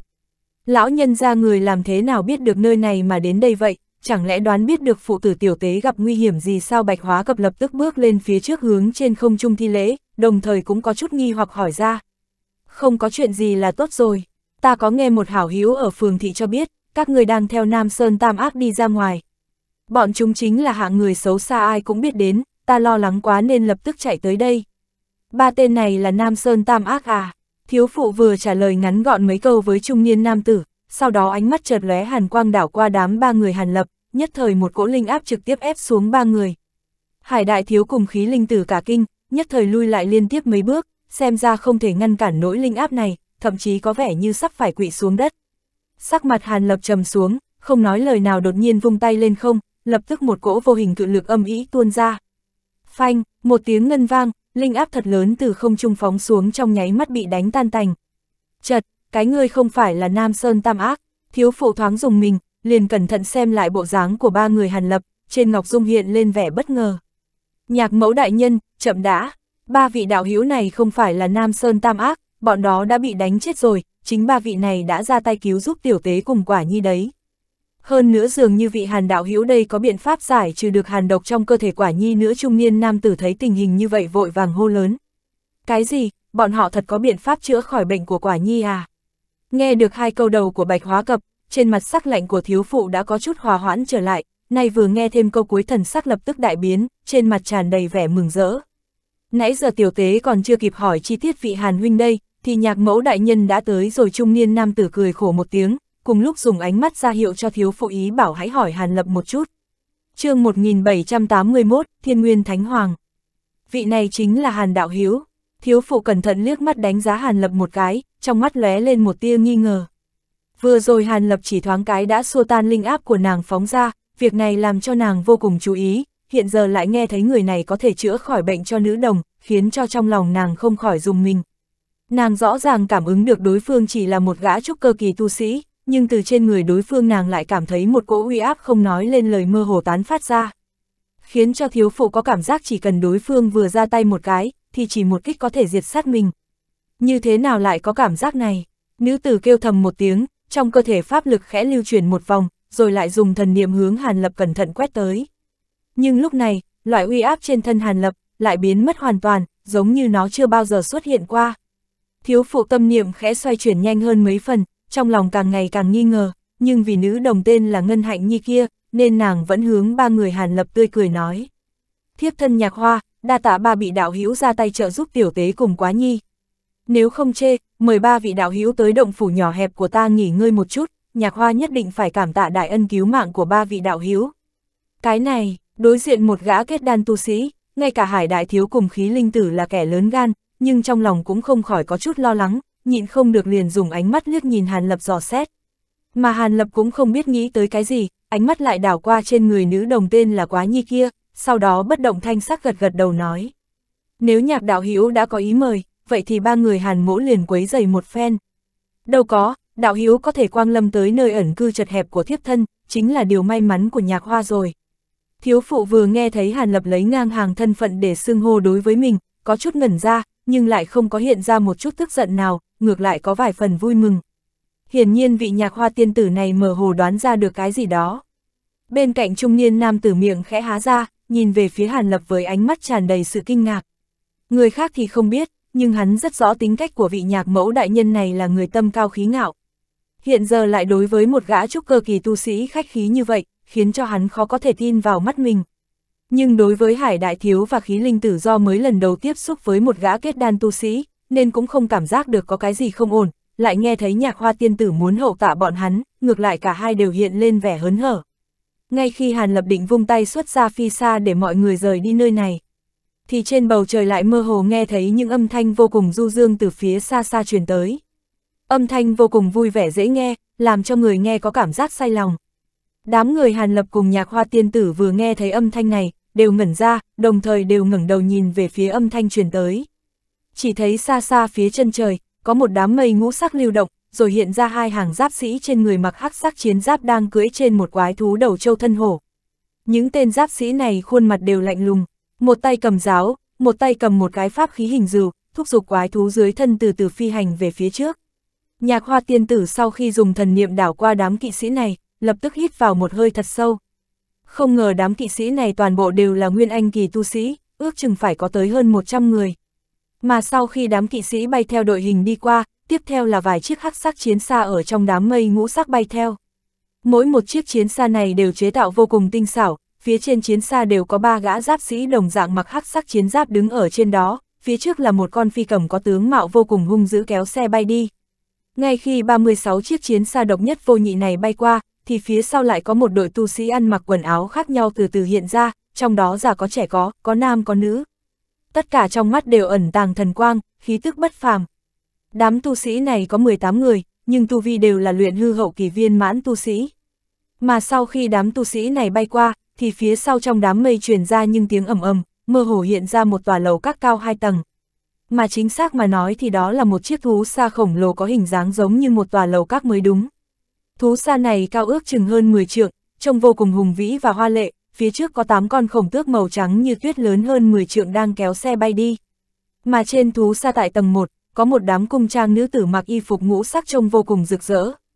Mỗi một tên đều kiều diễm động lòng người, ngoài ra trên người mấy nữ tử này đều cầm một loại nhạc cụ, người thì trong lòng ôm tỳ bà, kẻ thì đánh đàn, người thì thổi sáo. Những âm thanh nghe động lòng người đó, chính là từ trong tay những nữ tử này truyền ra. Nhưng ánh mắt của Hàn Lập căn bản là không đá trên người những nữ tử này, mà hướng nhìn về phía tầng 2 của thú xa này, ở nơi này hiện giờ đang có ba người đang ngồi vây quanh một chiếc bàn ngọc màu lục. Trên bàn chất đầy một số loại linh quả cùng với tử thủy, ba người lúc này đang đàm đạo với nhau cái gì đó rồi cùng nâng ly cạn chén. Nhưng mà ánh mắt Hàn Lập lại nhanh chóng chú ý tới phía trên đỉnh của chiếc thú xa khổng lồ này, ở trên đó cắm một cái lá cờ thật lớn tỏa ra ngân quang. Lá cờ này được thêu long vẽ phượng, trên đó không ngừng tán phát ra những dao động của cấm chế, mà ở giữa lá cờ lại thêu một chữ thánh bằng cổ văn thật lớn. Thánh Hoàng, là cờ hiệu của thiên nguyên Thánh Hoàng, đây là sa giá của Thánh Hoàng. Bên cạnh nhạc hoa tiên tử sau khi nhìn rõ lá cờ trên đỉnh thú xa khổng lồ phía xa xa kia, lại hoảng sợ thét lên một tiếng kinh hãi. Hàn Lập nghe xong sắc mặt hơi đổi, ánh mắt ngưng tụ nhìn kỹ, rốt cuộc thấy rõ ràng ba gã tu sĩ đang ngồi nói chuyện với nhau ở tầng 2. Ba người này tướng mạo vô cùng kỳ lạ, ngồi ở giữa là một người mặc nho bào màu trắng, tướng mạo nho nhã, chỉ có điều hai tay người này lại hơi dài, trên mặt đang mang vẻ mặt tươi cười. Bên cạnh là một lão giả, mặc trường bào màu xám, khuôn mặt hơi gầy, nhưng hai mắt mơ hồ như phóng ra bích mang. Người cuối cùng, là một tăng nhân béo tròn bên ngoài khoác một chiếc áo cà sa màu tím, nhìn như khoảng 4-50 tuổi, trông tai to mặt lớn, vẻ mặt thì hiền lành. Mà ba người này đều là hợp thể kỳ tu sĩ. Lão giả thì không nói, cũng chỉ là hợp thể sơ kỳ tu sĩ có cùng giai với hắn, còn tăng nhân là một gã hợp thể trung kỳ tu sĩ. Về phần người mặc nhau bào màu trắng ngồi ở giữa, dưới linh mục của hắn, thì thấy bên ngoài thân người này được bao phủ một tầng ánh sáng màu trắng bạc. Hắn mất rất nhiều khí lực mới nhìn ra được đối phương có tu vi là hợp thể hậu kỳ đáng sợ tồn tại. Xem ra nho sinh mặc áo bào trắng này chính là một trong tam hoàng, thiên nguyên thánh hoàng. Trung niên nam tử cùng với đám người khí linh tử và hải đại thiếu đứng ở bên cạnh, sớm thấy đã trợn mắt há hốc mồm, sau lại nghe thấy xa đội phía xa xa kia chính là xa giá của thiên nguyên thánh hoàng, cho dù là người có to gan lớn mật đến đâu cũng không khỏi dâng lên một cỗ run rẩy sợ hãi, nhưng nhìn vào trong mắt lại thấy một vẻ hưng phấn khó có thể nhịn được. Đây chính là hợp thể kỳ tồn tại, cả nhân tộc cũng chỉ có mấy chục người mà thôi, mà Tam Hoàng lại là một trong những nhân tộc cao dai nhất tồn tại rồi. Có thể chính mắt nhìn thấy hình dáng của Tam Hoàng, trong những tu sĩ ở nhân tộc cũng tuyệt đối không có bao nhiêu. Bọn hắn ở chỗ này có thể nhìn thấy xa giá của Thánh Hoàng cũng coi như là tạo hóa không nhỏ rồi. Tuy nhiên đúng lúc Hàn Lập đang dùng ánh mắt cẩn thận đánh giá nho sinh mặc áo bào trắng ở trên thú xa phía xa xa kia, thì vị thiên nguyên thánh hoàng này đang cùng với tăng nhân đang cười cười nói nói, đột nhiên thần sắc khẽ động, sau đó liền đứng dậy, bước vài bước tới phía rìa tầng 2, đồng thời trong mắt kim mang chớp động, hướng nhìn về phía Hàn Lập nói. Không biết vị đạo hiếu nào cũng ở chỗ này, nếu cảm thấy không chê, có thể lên đây cùng uống vài ly linh tử. Thanh âm của thiên nguyên thánh hoàng cũng không quá lớn, nhưng không biết làm như thế nào, mà không ngừng quanh quẩn ở trên không trung, đến khi truyền vào trong tai mọi người thì vô cùng rõ ràng. Trừ bỏ hàn lập ra, vô luận là nhạc hoa tiên tử hay là đám người hải đại thiếu, cũng không khỏi đưa mắt nhìn nhau. Thánh hoàng tiền bối chẳng lẽ đang nói chuyện với chúng ta? Sau một hồi lâu, hải đại thiếu, nuốt một chút nước miếng, lớn mật nói một câu mang theo vẻ thiếu tự tin nói. Không có khả năng, có thể được thánh hoàng tiền bối xưng hô như vậy, cũng chỉ có thể là cùng giai tu sĩ mà thôi, những người chúng ta, như thế nào có thể được. Bạch hóa cập liên tục lắc đầu, bộ dáng tuyệt đối không thể tin tưởng. Nhưng mà phụ cận quanh đây, cũng chỉ có mấy người chúng ta mà thôi. Khí linh tử hai mắt mở to, đồng dạng thì thảo nói. Cái này thật ra cũng không giả, mấy tên Nam Sơn Tam Ác kia để tiện cho việc hạ thủ đối với cha con Bạch Hóa Cập, đã cố ý đưa bọn họ tới chỗ hẻo lánh này, trong phạm vi trăm dặm quanh đây căn bản không thấy bóng dáng của tu sĩ khác. Những người khác không hiểu ra sao, nhưng Hàn Lập làm sao lại không hiểu vị thiên nguyên thành hoàng này chính là hướng về phía mình mà nói, lúc này sau khi hắn khẽ nhíu mày một cái, liền quay đầu hướng về mấy người hải đại thiếu rồi thản nhiên nói. Hải đạo hiếu, hai người các ngươi trước tiên hãy đến động phủ của hoa đạo hữu nghỉ tạm một chút đi. Ta đi lên phía trước gặp vị thiên nguyên thánh hoàng này trong chốc lát, sau này ta tự có biện pháp tìm được các ngươi. Nghe xong Hàn Lập nói như vậy, đám người hải đại thiếu, khí linh tử cùng với Nguyệt Hoa tiên tử và trung niên nam tử đều trợn mắt há hốc mồm. Hàn huynh, ngươi nói, cái, cái gì, hải đại thiếu lắp bắp nói một cách không rõ ràng, nhưng Hàn Lập lại lắc đầu, cũng không nói thêm cái gì nữa, mà bên ngoài thân thanh quang chợt lóe, thoáng chốc hóa thành một đạo thanh hồng, hướng thẳng tới xa giá bay đi, chỉ sau mấy cái chớp động, đã độn xuất ra xa hơn nghìn trường. Tại chỗ, chỉ để lại đám người đang trợn mắt há mồm, chỉ có nữ đồng ngân hạnh nhi kia, hai mắt đang mở to nhìn những người khác, tựa hồ có chút minh bạch, trên mặt ửng hồng bộ dạng có chút ngây thơ vô cùng đáng yêu. Nguyên lai hàn đạo hữu lại là một vị tiền bối hợp thể kỳ, ta sớm đã đoán được. Trừ bỏ hợp thể tu sĩ ra, những người khác làm sao có thể có biện pháp chữa được bệnh hàn độc trong cơ thể quá nhi cơ chứ? Thiếu phụ theo bản năng tự nói vài câu, trên khuôn mặt thoáng chốc hiện nên vẻ vô cùng mừng rỡ. Hải đạo hữu chẳng lẽ hai người các ngươi cũng là? Bạch hóa cập nhìn chằm chặp vào hải đại thiếu và khí linh tử đứng ở bên cạnh, có chút lắp bắp như muốn nói cái gì. Không, không phải, hai người chúng ta chính là hàng thật giá thật bình thường tu sĩ, tu vi của ta chỉ có chút cơ kỳ, không giả chút nào. Chúng ta cùng hàn huynh, không, phải là hàn lão tiền bối, cũng chỉ là trên đường quen biết, tuyệt đối không biết lão nhân gia chính là hợp thể tu sĩ. Khí linh tử giật mình một cái rồi hồi phục lại thần trí, rồi vội vàng lắc đầu liên tục trả lời. Ta, chúng ta vậy mà lại cùng một vị hợp thể tu sĩ đồng hành trong mấy tháng, lại còn cùng nhau uống trà, cùng nhau uống rượu, lại còn xưng hô ngang hàng. Khí linh tử, ta không có nằm mơ đấy chứ. Hải đại thiếu thì lại giống như mộng du hốt hoảng nói. Đồng thời trong lúc đó, Hàn Lập biến thành thanh hồng, cũng đã bay tới gần xa giá. Những tên giáp sĩ, lúc vừa rồi cũng đã nghe thấy Thiên Nguyên Thánh Hoàng nói, tự nhiên cũng không có tiến lên ngăn cản Hàn Lập. Hàn Lập sau khi độn quang thu lại, liền xuất hiện ở trong tầng thứ hai của thú xa khổng lồ, rồi chấp tay hướng về ba gã hợp thể kỳ bên trong mỉm cười nói. Tại hạ Hàn Lập, ra mắt ba vị đạo hữu Ồ, Hàn Lập, chẳng lẽ chính là vị Hàn đạo hữu gần đây ở trong thiên nguyên cảnh ta vừa mới tiến giai? Lão Phu Hoàng đáng ra mắt đạo hữu Lão giả khô gầy vừa nghe thấy như vậy, thần sắc khẽ động, đáp lễ trả lại. Ha ha, Hàn mỗ quả thật vừa mới tiến giai được có vài năm. Hàn lập khóe miệng khẽ nhếch lên, cười khẽ trả lời. chương 1782, Tử Hoàng. Hóa ra đạo hữu chính là vị Hàn lập mà mấy năm trước vừa mới tiến giai, thật là thất kính. Tiếc là lúc trước đạo hữu lại cự tuyệt lời mời của Thánh Thành, nếu không bổn hoàng có thể sớm đã cùng Hàn đạo hữu thoải mái nâng cốc uống vài chén với nhau rồi. Thiên Nguyên Thánh Hoàng quan sát trên dưới Hàn Lập vài lần, rồi cười cười nói. Thánh Hoàng nói như vậy thì hơi quá, nghe nói Hàn Đạo Hữu chỉ mất có mấy trăm năm thời gian, liền từ một gã hóa thần tu sĩ tiến giai tới cảnh giới trước mắt. Tốc độ như vậy quả thật là đáng sợ, không thể nói từ trước đến nay chưa từng có ai, nhưng như vậy cũng đủ làm cho ta xấu hổ. Tên tăng nhân béo tròn lúc này cũng hướng Hàn Lập mở miệng tiếp lời, đồng dạng đối với Hàn Lập vô cùng hứng thú. Đại sư quá khen rồi, Hàn mỗ tư chất bình thường, nếu không phải là trong man hoang thế giới bản thân gặp mấy lần cơ duyên, thì làm sao lại có thể tiến dai nhanh như vậy được. Hàn Lập biểu hiện vô cùng khách khí nói, thiên thiền đại sư, có cái gì muốn nói, thì trước tiên hãy để cho ta kính hàn đạo hữu một ly linh tửu đã rồi hãy nói sau. Bổn hoàng cũng không có ham mê cái gì khác, chỉ là đối với vật trong chén này là vô cùng yêu thích. Nếu không phải danh hiệu thánh hoàng này là qua nhiều thế hệ tổ tiên truyền thừa xuống, thì bổn hoàng muốn trở thành một vị tử hoàng ha ha tử hoàng mới là tâm ý mà bổn hoàng muốn hướng tới. Nho sinh mặc áo bào trắng cười nhẹ một tiếng nói, rồi nhấc tay cầm một chiếc chén ngọc màu lục ở phía trên chiếc bàn ngọc cùng với một chiếc bầu rượu màu đỏ đậm cầm vào trong tay. Sau đó vị thiên nguyên thánh hoàng này cổ tay khẽ nhấc lên, tiếp theo từ trong bầu rượu đổ ra một ly linh tử vô cùng nồng đậm, rượu này nhìn như trong suốt, có màu đỏ như trứng gà, nhìn giống như một loại hổ phách.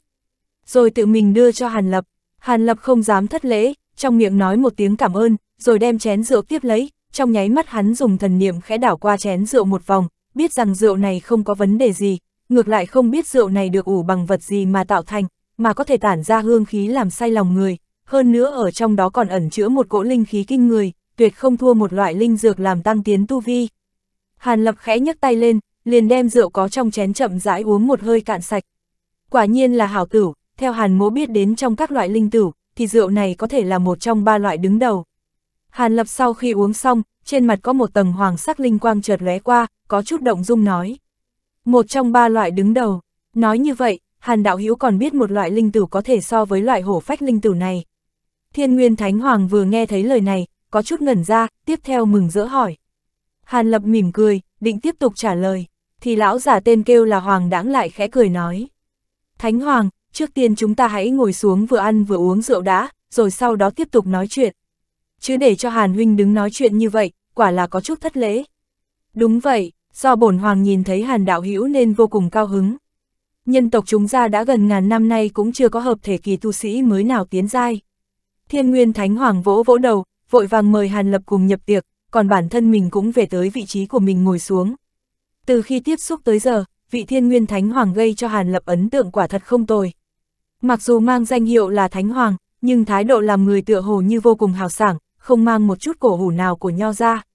Tuy nhiên với tu vi cảnh giới hiện giờ của hắn, tự nhiên không có khả năng chỉ dựa vào một vài ấn tượng ngắn ngủi mà có thể phán đoán được đối phương là người như thế nào. Hàn Lập lúc này trong miệng nói một câu khiêm nhường, rồi ngồi xuống đối diện với thiên nguyên thánh hoàng. Hàn đạo hiếu, hiện giờ có thể nói, người biết loại linh tử nào có thể so sánh với hổ phách linh tử của ta.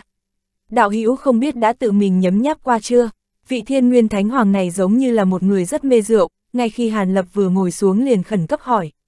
Hổ phách linh tử của thánh hoàng cũng là một loại linh tử hiếm thấy ở trong linh giới cũng là một loại quý hiếm. Tuy nhiên tại hạ ở trong man hoang tại một cái ngoại tộc, đã may mắn từng nhấm nháp qua một loại cửu hương linh tử vô luận là tử hương hay là bản thân hiệu dụng của nó, cũng không kém hơn hổ phách linh tử chút nào Hàn Lập sau khi suy đoán rồi cẩn thận trả lời. Linh tử của dị tộc nhân, cửu hương linh tử, không biết đạo hữu có tiện thể lấy được một bầu mang về không? Thiên Nguyên Thánh Hoàng có chút mong chờ hỏi, Thiên Thiền Tăng Nhân cùng Hoàng Đáng, cũng đều cảm thấy hứng thú nhìn về phía Hàn Lập. Loại cửu hương linh tử kia cũng là một loại mật tử ở trong ngoại tộc nhân do một gã hợp thể kỳ tồn tại nhưỡng chế. Lúc đó Hàn Mỗ vẫn còn chưa tiến dài tới cảnh giới bây giờ, làm sao có tư cách mà đòi hỏi rượu này, có thể may mắn uống được một ly, đã tính là người hữu duyên rồi. Hàn Lập nở một nụ cười khổ nói, cái này cũng phải, hổ phách linh tử của ta, bình thường đối với bản thân ta cũng coi là vật chân quý, cũng không dễ dàng lấy ra để đãi khách. Thiên Nguyên Thánh Hoàng không che giấu vẻ thất vọng, cũng chỉ thở dài nói. Ha ha, Thánh Hoàng cũng không cần quá mức đáng tiếc, mặc dù trong tay tại hạ không có cửu hương linh tử, nhưng chỉ cần qua một thời gian ngắn nữa, lại có thể đạt được một loại linh tử khác, đến lúc đó sẽ mời Thánh Hoàng thưởng thức một phen. Hàn Lập đột nhiên lộ ra một nụ cười thần bí nói. a cái gì linh tử, chẳng lẽ trên cả hồ phách linh tử của Thành Hoàng cùng với cửu hương linh tử kia? Thiên Nguyên Thánh Hoàng còn chưa kịp hỏi tiếp, thì khô gầy lão giả không nhịn được xen vào hỏi. Hiển nhiên vị này cũng là một người đam mê rượu, cái này cũng khó trách, đối với người tu đạo hàng năm đều ngồi đả tọa tu luyện, nên đối với ngoại vật bình thường căn bản không xem trọng, nam tính tu sĩ trừ bỏ một vài người thích uống linh trà ra, thì đa phần đều là người thích uống linh tử. Hàn mỗ ở man hoang du lịch, may mắn lấy được phương pháp nhưỡng chế hồng la tiên tử và hồng la tiên quả, mặc dù còn có một vài loại tài liệu phụ trợ phối chế còn thiếu, nhưng chỉ cần một chút thời gian, hẳn là không thành vấn đề. Hàn Lập mỉm cười rồi hướng mấy người nói, Hồng La tiên tử, nghe nói loại tiên tử này chỉ có ở chân tiên giới mới có loại rượu này. Thiên Nguyên Thánh Hoàng nghe xong Hàn Lập nói như thế, vốn mặt có chút ngẩn ngơ, tiếp theo thần tình hiện lên vẻ giật mình. Về phần lão giả cùng với tăng nhân hiển nhiên cũng đã từng nghe qua loại linh tử của tiên giới này, ánh mắt nhìn Hàn Lập cũng có chút đăm đăm. Đây chính là linh tử của tiên giới A, linh giới làm thế nào mà có thể nhưỡng chế ra được. Hàn đạo hữu chẳng lẽ là đang nói đùa, hồng la quả kia chính là vật chỉ có ở tiên giới, làm sao có thể xuất hiện ở đây. Hơn nữa nghe nói, để bồi dưỡng hồng la quả đến khi ủ được rượu thì thời gian phải tính theo vài vạn năm mới được, cho dù là ở chân tiên giới cũng bồi dưỡng không được. Hàn đạo hữu không có nhận lầm đấy chứ. Thiên thiền tăng nhân lại hoảng sợ trực tiếp hỏi. Đối với mấy cái linh quả này có thể ủ ra được hồng la tiên tử, là do thời điểm tại hạ ở trong man hoang du lịch, có co duyên xảo hợp mới phát hiện. Về phần vì sao nó xuất hiện ở linh giới này, thì chỉ có trời mới biết. Không dám giấu tại hạ lấy được hồng la quả không phải là giả, đối với một chút điểm đó hàn mỗ vẫn có chút tự tin. Hàn lập có chút tự tin nói, hảo, hảo, nếu đạo hữu có thể thật sự ủ ra hồng la tiên tử. Người khác thì mặc kệ, nhưng nhất định phải lưu lại cho bổn hoàng hai ba bình. Đúng rồi, những tài liệu mà còn khuyết thiếu để ủ rượu này, bổn hoàng cũng sẽ không lấy không tiên tử của ngươi, chúng ta ba người sẽ giúp ngươi thu thập thiên nguyên thánh hoàng trên mặt hiện lên vẻ hưng phấn, ngay sau khi nói hai từ hảo xong, liền vội vàng nói như vậy. Thánh hoàng sao lại lấy cơ hội của người phúc ta, rõ ràng là ngươi muốn thưởng thức loại mỹ tử này của tiên giới, nhưng lại làm cho hai người chúng ta hỗ trợ thu thập tài liệu là sao? Tăng nhân lộ ra vẻ mặt ủ ê nói, ha ha, lời này của ngươi không thành thật rồi, bổn hoàng không tin sau khi tiên tử được nhưỡng chế ra, ngươi lại không đến thưởng thức một ngụm. Bực này Mỹ tử được lưu truyền trong tiên giới, nếu thật sự có thể nhấm nháp một phần, có thể xem như là thiên đại tạo hóa. Thiên Nguyên Thánh Hoàng lại cười híp mắt trả lời, điều này cũng đúng, bần tăng mặc dù bình thường cũng không mê rượu, nhưng loại này tiên giới linh tử lại là một chuyện khác, nhất định phải uống một ngụm. Tăng nhân sau khi suy nghĩ, lại vô cùng thành thật trả lời. Khô gầy lão giả thì ở một bên cười mà không nói. Nếu mà được ba vị đạo hiếu khẳng khái ra tay hỗ trợ, lại được tại hạ vận dụng một chút bí thuật, thì có nhiều khả năng trong lúc diễn ra vạn bảo đại hội, liền có thể đem rượu này nhưỡng chế ra. Hàn Lập vừa nghe xong lời này, trong lòng khẽ động nói. Như vậy thì tốt quá rồi, nói vậy thì rượu này khi xuất hiện có thể làm náo động đại hội lần này. Hắc hắc, theo ta được biết, tên phách hoàng kia đối với Mỹ tử cũng vô cùng yêu thích, một chút cũng không thua bổn hoàng. Còn mấy tên gia hỏa trong thất yêu vương cũng là hạng người nghiện rượu nặng. Đạo hữu hãy mang danh sách tài liệu cần thiết cầm đến đây đi. Vì sự kiện lần này, bổn hoàng đã đem một số đồ vật từ trong thánh hoàng bảo khố mang tới đây. Thiên nguyên thánh hoàng cũng vô cùng thẳng thắn, trực tiếp đưa tay ra, muốn hỏi lấy ngọc giản có chứa tài liệu cần thiết của Hàn Lập. Hàn Lập cũng không khách khí, một tay khẽ xoay chuyển, lấy ra một khối ngọc giản còn trống, hai tay linh quang chớp động phóng tới ngọc giản ở trong lòng bàn tay, liền đem một vài thông tin khắc ấn vào trong đó, rồi lập tức đưa cho đối phương. Thiên Nguyên Thánh Hoàng đưa một tay nhận lấy, rồi dùng thần niệm đảo qua ngọc giản nằm trong tay, sau đó gật gật đầu rồi thu ngọc giản lại, tiếp theo hướng Hàn Lập nói. Qua 2-3 ngày nữa, hẳn là có thể đem những thứ này thu thập hết cho đạo hiếu. Hàn huynh là tự mình đến chỗ ta để lấy, hay là ta phái người đem những thứ này đưa cho đạo hiếu?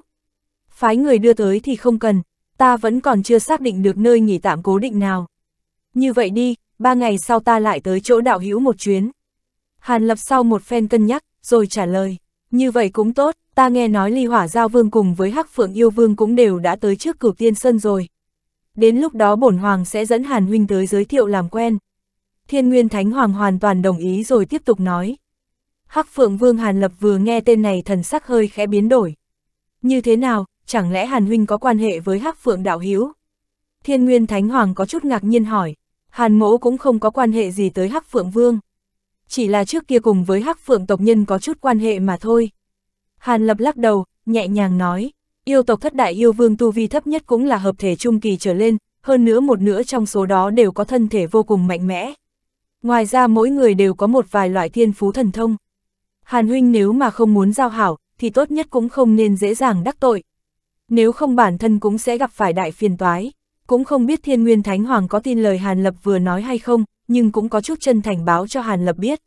Đa tạ thánh hoàng chỉ điểm, tại hạ như thế nào lại vô cớ đi trêu chọc thất đại yêu vương.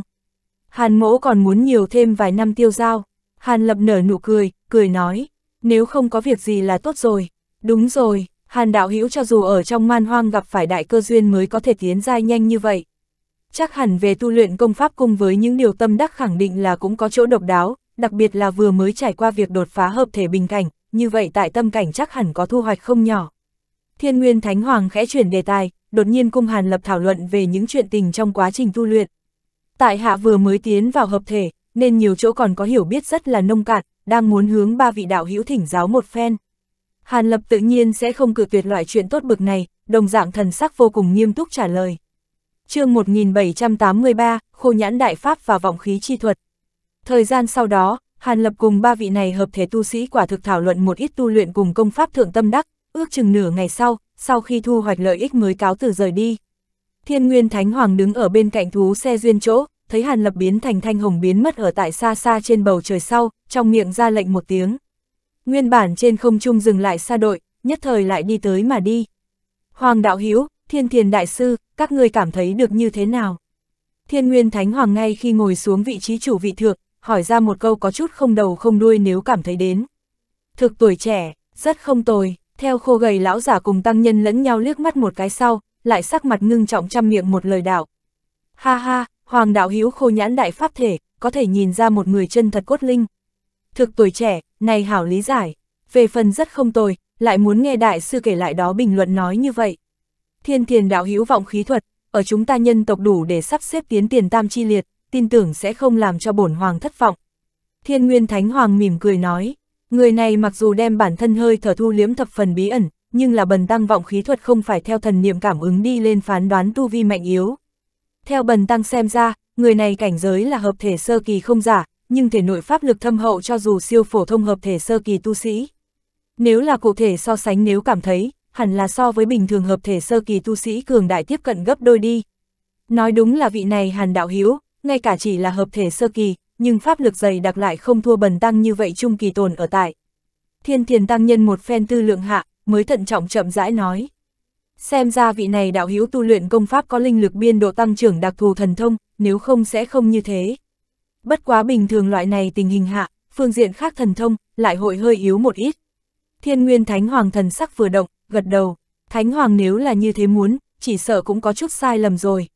Trừ bỏ pháp lực đặc biệt thâm hậu ngoại, ta còn lúc này nhân hỏa trên người thấy được một ít đại thần thông linh quang, trừ bỏ chủ tu công pháp ngoại, người này ít nhất còn thân đủ 3-4 loại cực lợi hại thần thông.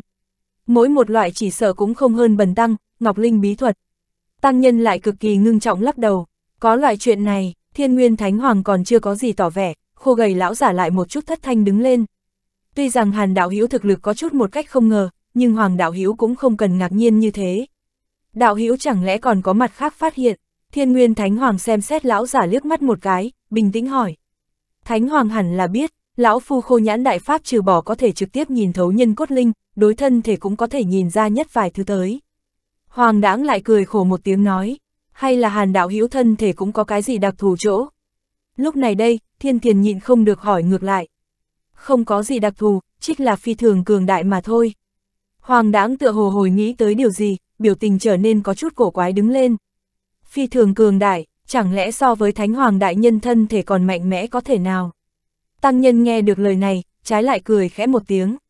Cho dù so ra kém, ta nghĩ cũng sẽ không kém cỏi nhiều lắm. Lão giả trên mặt cơ thể run rẩy một chút sau, lại nói ra làm cho tăng nhân sắc mặt đại biến nếu cảm thấy đến. Thật có chuyện này ư, thiên nguyên thánh hoàng ánh mắt chấp động dưới, cũng lộ ra bất ngờ biểu tình. Không có khả năng, hoàng đạo hiếu, người hay là đang nói giỡn. Thánh hoàng đại nhân trước mắt tuy rằng lấy nho ra công pháp là việc chính, nhưng là năm đó chính là đỉnh giai luyện thể sĩ xuất thân. Hơn nữa trải qua nhiều như vậy năm vẫn còn cố gắng ma luyện, thân thể mạnh mẽ trình độ chỉ sợ cũng không kém hơn kia vài tên yêu vương. Hàn đạo hữu ngay cả thực ở luyện thể trên có đó sở thành, nhưng lại sao có thể có thể cùng Thánh Hoàng so sánh với. Thiên thiền tăng nhân tựa đầu diêu giống như run cổ bình thường. Cho dù lão phu khô nhãn đại pháp có chút sai lầm, nhưng người này thân thể mạnh mẽ trình độ, tuyệt đối là một trong những người lão phu chứng kiến, trừ Thánh Hoàng đại nhân ra người này thứ hai. Khô gầy lão giả trần chờ một chút, liền thập phần khẳng định môn đạo. Nhưng cái này cũng rất, thiên thiền đại sư không cần hoài nghi cái gì, hoàng đạo hữu khô nhãn đại pháp còn chưa bao giờ làm lỗi qua. Ha ha, pháp lực thâm hậu viễn siêu cùng dai, thân đủ một số đại thần thông, thân thể mạnh mẽ không thua bình thường yêu vương, còn như thế đích tuổi còn trẻ. Nếu là có thể chống đỡ qua sau đó không lâu ma tai, về sau chỉ sợ thật đúng là có thể trở thành không thua bổn hoàng tồn tại. Nguyên Thánh Hoàng khoát tay đánh gãy tăng nhân hoài nghi nói như vậy, hai mắt híp lại lên, tựa hồ lâm vào trong trầm tư.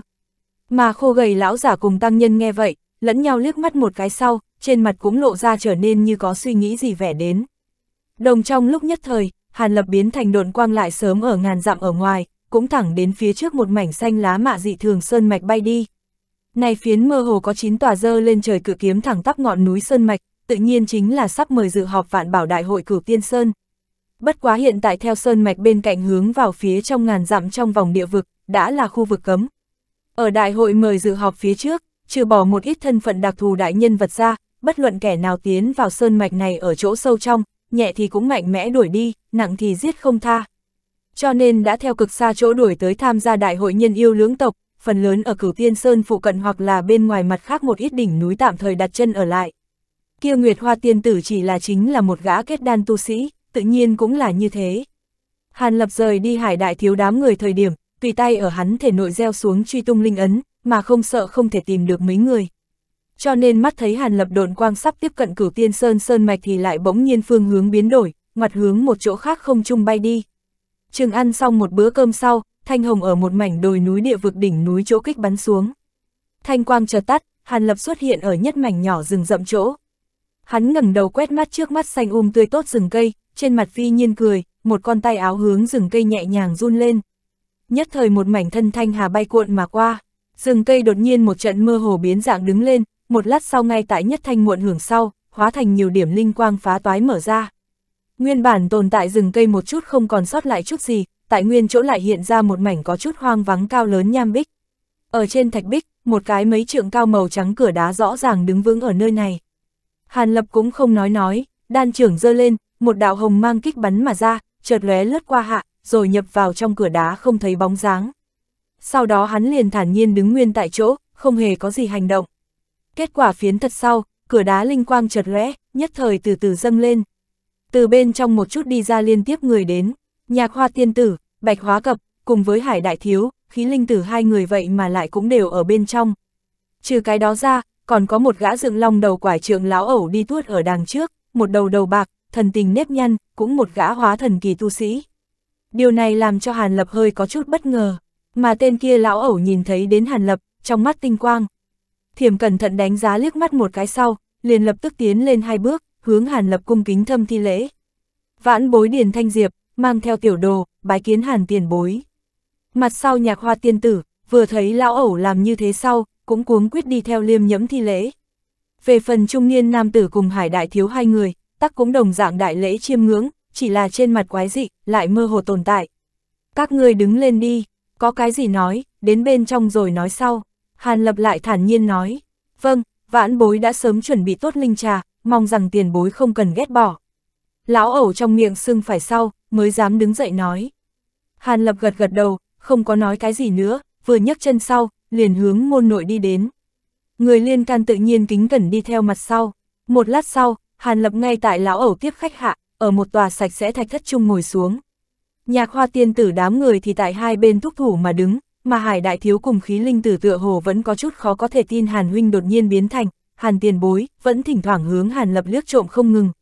Hàn Lập lại đối hai người này coi như không thấy bình thường, chỉ là hướng lão ẩu thản nhiên hỏi nói. Ngắn ngủn nói mấy câu gian, cũng đem lão ẩu thầy trò lai lịch hỏi rõ vài phần. Nguyên lai này lão ẩu thân mình tự ra ở huyền vũ cảnh nội một cái lớp giữa tông môn, Kim Quảng Tông hơn nữa còn là một trong hai vị trưởng lão của tông môn kia. Nhạc hoa tiên tử còn lại là của nàng nội môn đệ tử, tư chất pha dai, bình thường thâm chịu lão ẩu coi trọng. Mà Ngân Hạnh Nhi còn lại là thiếu phụ cháu ngoại, cũng là nàng trên thế gian duy nhất huyết mạch, cho nên bạch hóa cập phụ nữ hai người mới có thể theo lão ẩu đang tham gia này vạn bảo đại hội. Nhưng trăm triệu không ngờ rằng, ở trung niên nam tử muốn tổ tiên truyền xuống một chi huyết tham bán đi, hảo đổi đó mặt khác linh dược ngân hạnh nhi điều chế thuốc chống thể nội hàn độc thì lại lầm chúng nam sơn tam ác bẫy. Nếu không trùng hợp gặp được hàn lập ba người, phụ nữ hai người mạng nhỏ chỉ sợ thật sự khó bảo toàn. Cho nên lão ẩu nói tới đây thì vội vàng lại làm cho nhạc hoa tiên tử cùng bạch hóa cập tiến lên, lại tạ qua hàn lập ân cứu mạng. Hàn lập tự nhiên khoát tay tỏ vẻ không cần, vãn bối tuy rằng bình thường rất ít rời đi tông môn, nhưng cũng nghe nói thiên nguyên cảnh trung mới ra hiện một gã tiến giai hợp thể nhân tộc tiền bối, tính danh cùng tiền bối độc nhất vô nhị, xin hỏi có phải là hàn tiền bối lão ẩu cuối cùng cẩn thận hỏi. Hiển nhiên hợp thể tu sĩ thanh danh thật sự quá, lão ẩu ngay cả đến bây giờ còn không dám thập phần tin tưởng hàn lập thân phận. Hắc hắc, không nghĩ tới hàn mỗ thanh danh truyền nhưng thật ra rất nhanh, ngay cả huyền vũ cảnh trung tu sĩ cũng biết sự tồn tại của ta. Hàn lập lại ảm đạm cười, một bộ từ chối cho ý kiến bộ dáng. Nguyên lai thật sự là hàn tiền bối đại giá quang lâm. Ngẫm lại cũng là, có thể bị thánh hoàng mời, tự nhiên cũng chỉ có thể là cùng giai hợp thể tiền bối. Lão ẩu được nghe lời ấy, thần tình mừng rỡ vẻ. Bằng nàng chính là một cái hóa thần bình thường tu sĩ, bình thường căn bản không thể nào cùng một gã hợp thể kỳ tu sĩ tiếp xúc cái gì.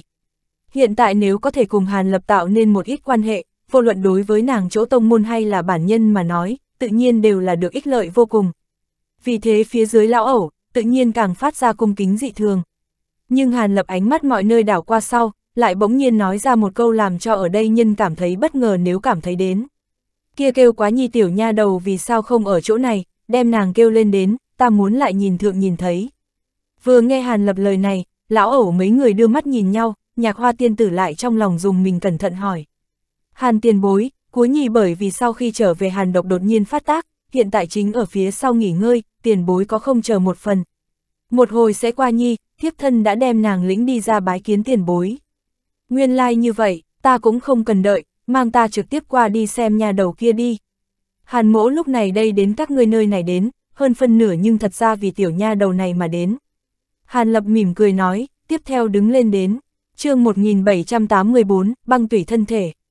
Nhạc hoa tiên tử nghe xong lời nói của Hàn Lập, vẫn là không hiểu ra sao, đồng thời trong lòng rất là không yên, không biết vị này Hàn tiền bối vì sao hội đối với quá nhi như thế coi trọng bộ dáng. Nhưng là thiếu phụ nghĩ lại, lấy ngân hạnh nhi hiện tại Hàn độc trong người tình hình, chính là đang rất xấu rồi, thêm lão ẩu ở một bên không ngừng đưa mắt ra hiệu, cũng cắn răng một cái ứng tiếng nói. Nếu tiền bối đối với quá nhi như thế coi trọng, vãn bối cái này ở phía trước dẫn đường. Nói xong lời này, nàng này liền mang theo Hàn Lập cùng những người khác, hướng động phủ hậu đường mà đi. Trải qua một tòa thiên môn, xuyên qua một cái giản dị hành lang dài, đoàn người bước đi vào một gian giữa phòng ngủ. Ở phòng ngủ nhất trương màu đỏ nhạt trên giường gỗ, tên là Ngân Hạnh Nhi nữ đồng, chính nhân sự không biết trong hôn mê.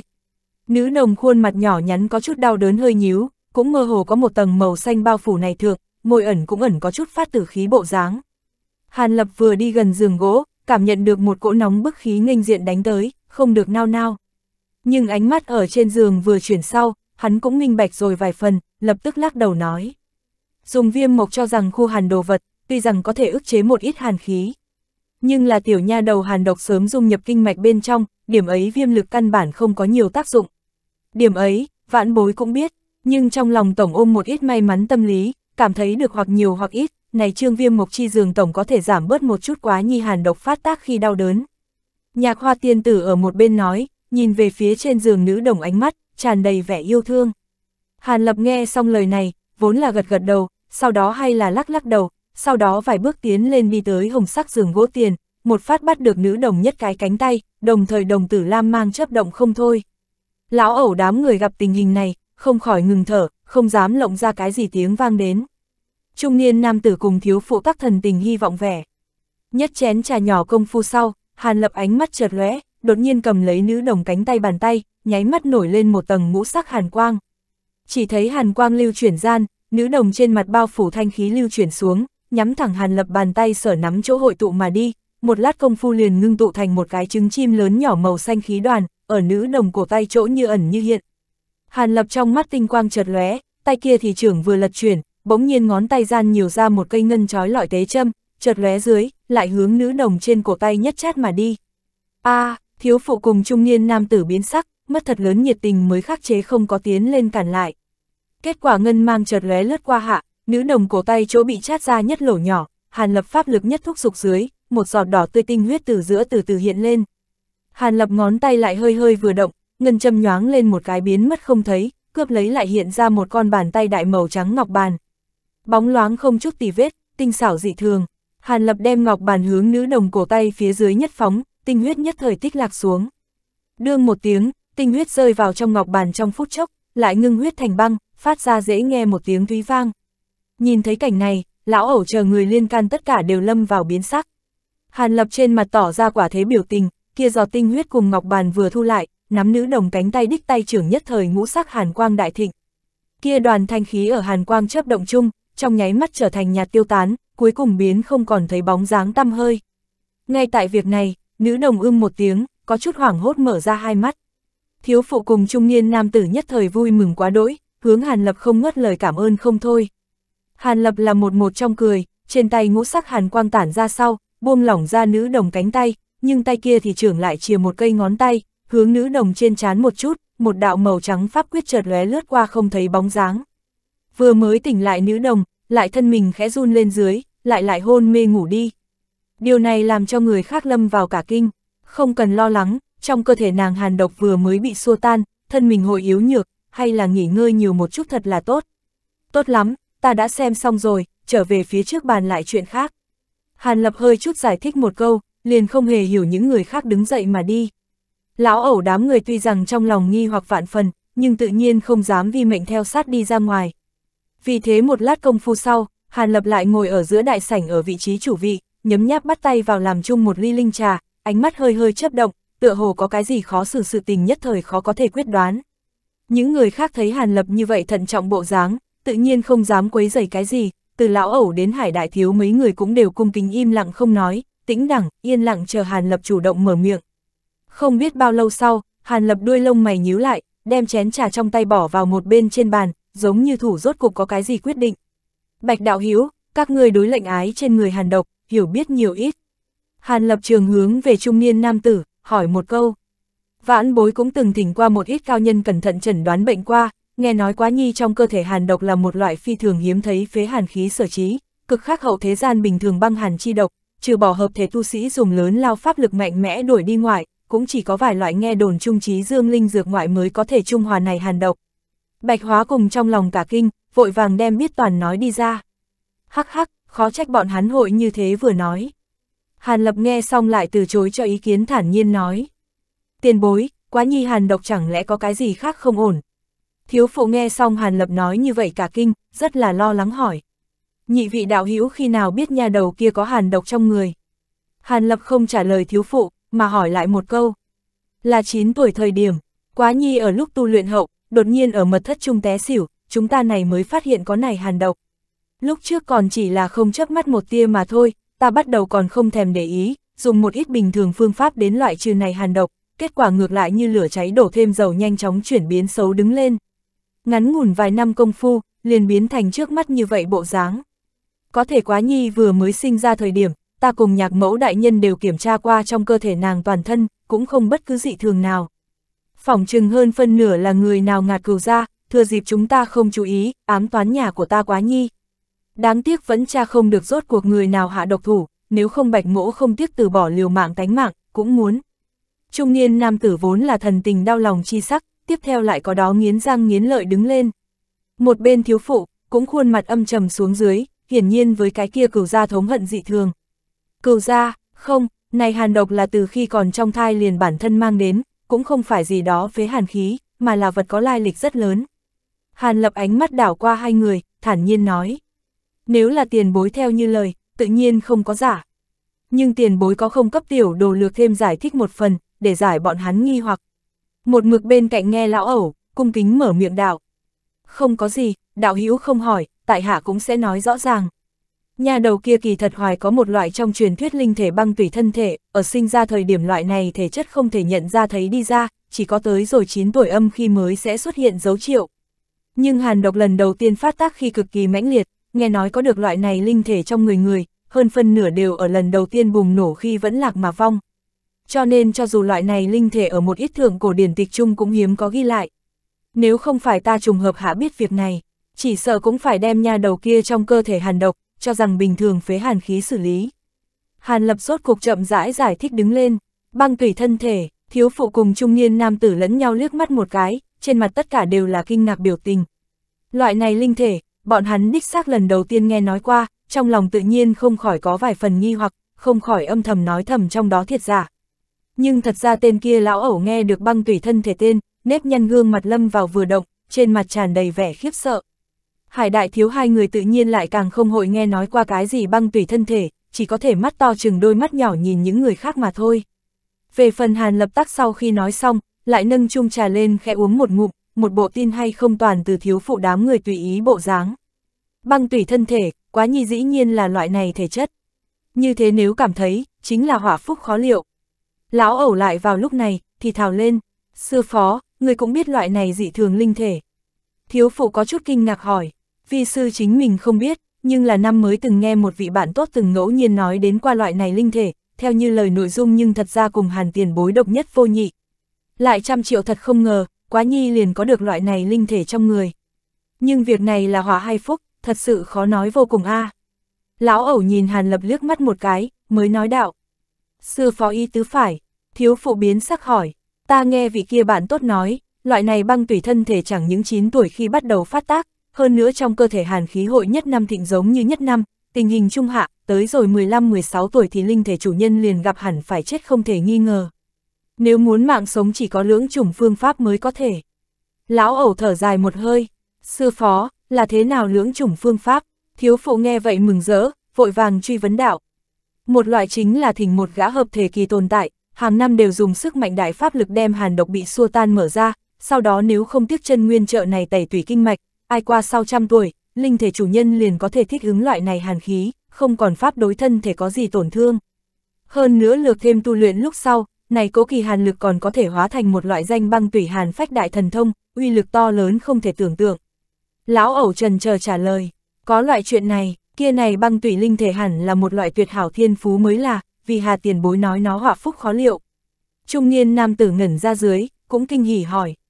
Đó là bởi vì các băng tủy linh thể có chứa cực hàn, không phải như vậy dễ dàng áp chế. Tiền mấy chục năm hoàn hảo, chỉ cần hoa đó thời gian, hợp thể kỳ tu sĩ còn có thể dễ dàng áp chế, tới rồi sau mấy chục năm, kim muốn cam đoan pháp lực không thương tổn hại linh thể đứng đầu thân mình, còn muốn đem hàn độc mạnh mẽ bị xua tan, cơ hồ mỗi một lần áp chế, hợp thể kỳ tu sĩ đều hao tổn không ít chân nguyên. Đặc biệt đi tới mười mấy năm cuối cùng, loại này hao tổn căn bản không phải đả tỏa có thể bù lại trở về. Càng khỏi nói tại đây kỳ gian, vị kia hợp thể kỳ tu sĩ còn cần tiêu phí càng nhiều pháp lực, cấp linh thể đứng đầu dịch kinh tẩy tùy. Như thế tính xuống dưới, ước chừng sẽ làm ra tay hợp thể tu sĩ trì hoãn mấy trăm năm khổ tu thời gian. Loại này tổn hại mình lợi nhân chuyện tình, lại có vị ấy tiền bối nguyện ý đi làm. Lão ẩu cười khổ nhất nhất nói, chương 1785, ký danh đệ tử. Nghe lão bà nói vậy, nhạc hoa tiên tử cùng với bạch hóa cập mới tỏ ra mừng rỡ, những lo âu nãy giờ cũng tiêu tan. Trì hoãn thời gian tu luyện những mấy trăm năm, cho dù là đối với người thân nhất đi nữa cũng không có mấy ai bằng lòng bỏ ra, huống gì đây là vì một ngoại nhân vốn không quen không biết. Phương pháp thứ hai kia là gì? Nam tử lòng đầy hy vọng truy hỏi một câu. Cách giải quyết thứ hai, chính là đi tìm linh dược trong truyền thuyết để luyện chế ra vài loại đan dược trí dương, sử dụng phương pháp thủy hỏa giao tế để thay đổi băng tùy thân thể. Loại này cũng không đơn giản hơn so với phương pháp thứ nhất, chưa nói những thứ linh dược kia toàn là thế gian hiếm thấy, ngàn năm khó xuất hiện được một lần, căn bản không phải chúng ta có thể tập hợp được. Cho dù có được đi nữa, sau khi luyện chế ra đan dược trí dương rồi phục dụng cũng hậu hoạn vô cùng. Mặc dù có thể bài trừ băng tủy thân thể, nhưng theo cùng với hình thức giao tế còn gây phá hủy tư chất linh căn của chủ nhân linh thể. Nặng thì hoàn toàn phá bỏ linh căn, trở thành một phàm nhân, nhẹ thì linh căn trở nên vô cùng thấp kém, trên đường tu tiên cũng vì thế mà khổ cực trăm bề bà lão nói với sắc mặt ngưng trọng. Nam tử trung niên mặt mũi hoàn toàn trắng bệch, không còn lời gì để nói. Thiếu phụ ở giữa cũng giật mình trong chốc lát, bỗng nhiên khẽ cắn răng hướng Hàn Lập khẩn cầu. Hàn tiền bối, lão nhân ra người pháp lực to lớn, nếu người có thể xuất thủ cứu giúp quả nhi, cả nhà vãn bối sau này nhất định sẽ làm châu làm ngựa báo đáp đại ân này. Nghe thấy thiếu phụ nói vậy, lão bà không khỏi động lòng, không kìm được nhìn về phía Hàn Lập. Lúc trước rõ ràng Hàn Lập cũng tỏ ra là vì nữ đồng này mà đến đây. Nói như vậy, vị Hàn tiền bối này cũng không hẳn là không thể xuất thủ. Nam tử trung niên không chút lưỡng lự hướng Hàn Lập dập đầu liên tục. Hàn Lập nghe vậy, cũng lộ ra vẻ mặt như cười như không, sau một hồi lâu mới từ từ trả lời. Cũng coi như là ngươi hiểu biết, không sai, nếu Hàn mỗ đã thân trinh đến đây, đúng là có ý cứu chữa cho nha đầu này. Đa tạ đại ân đại đức của tiền bối.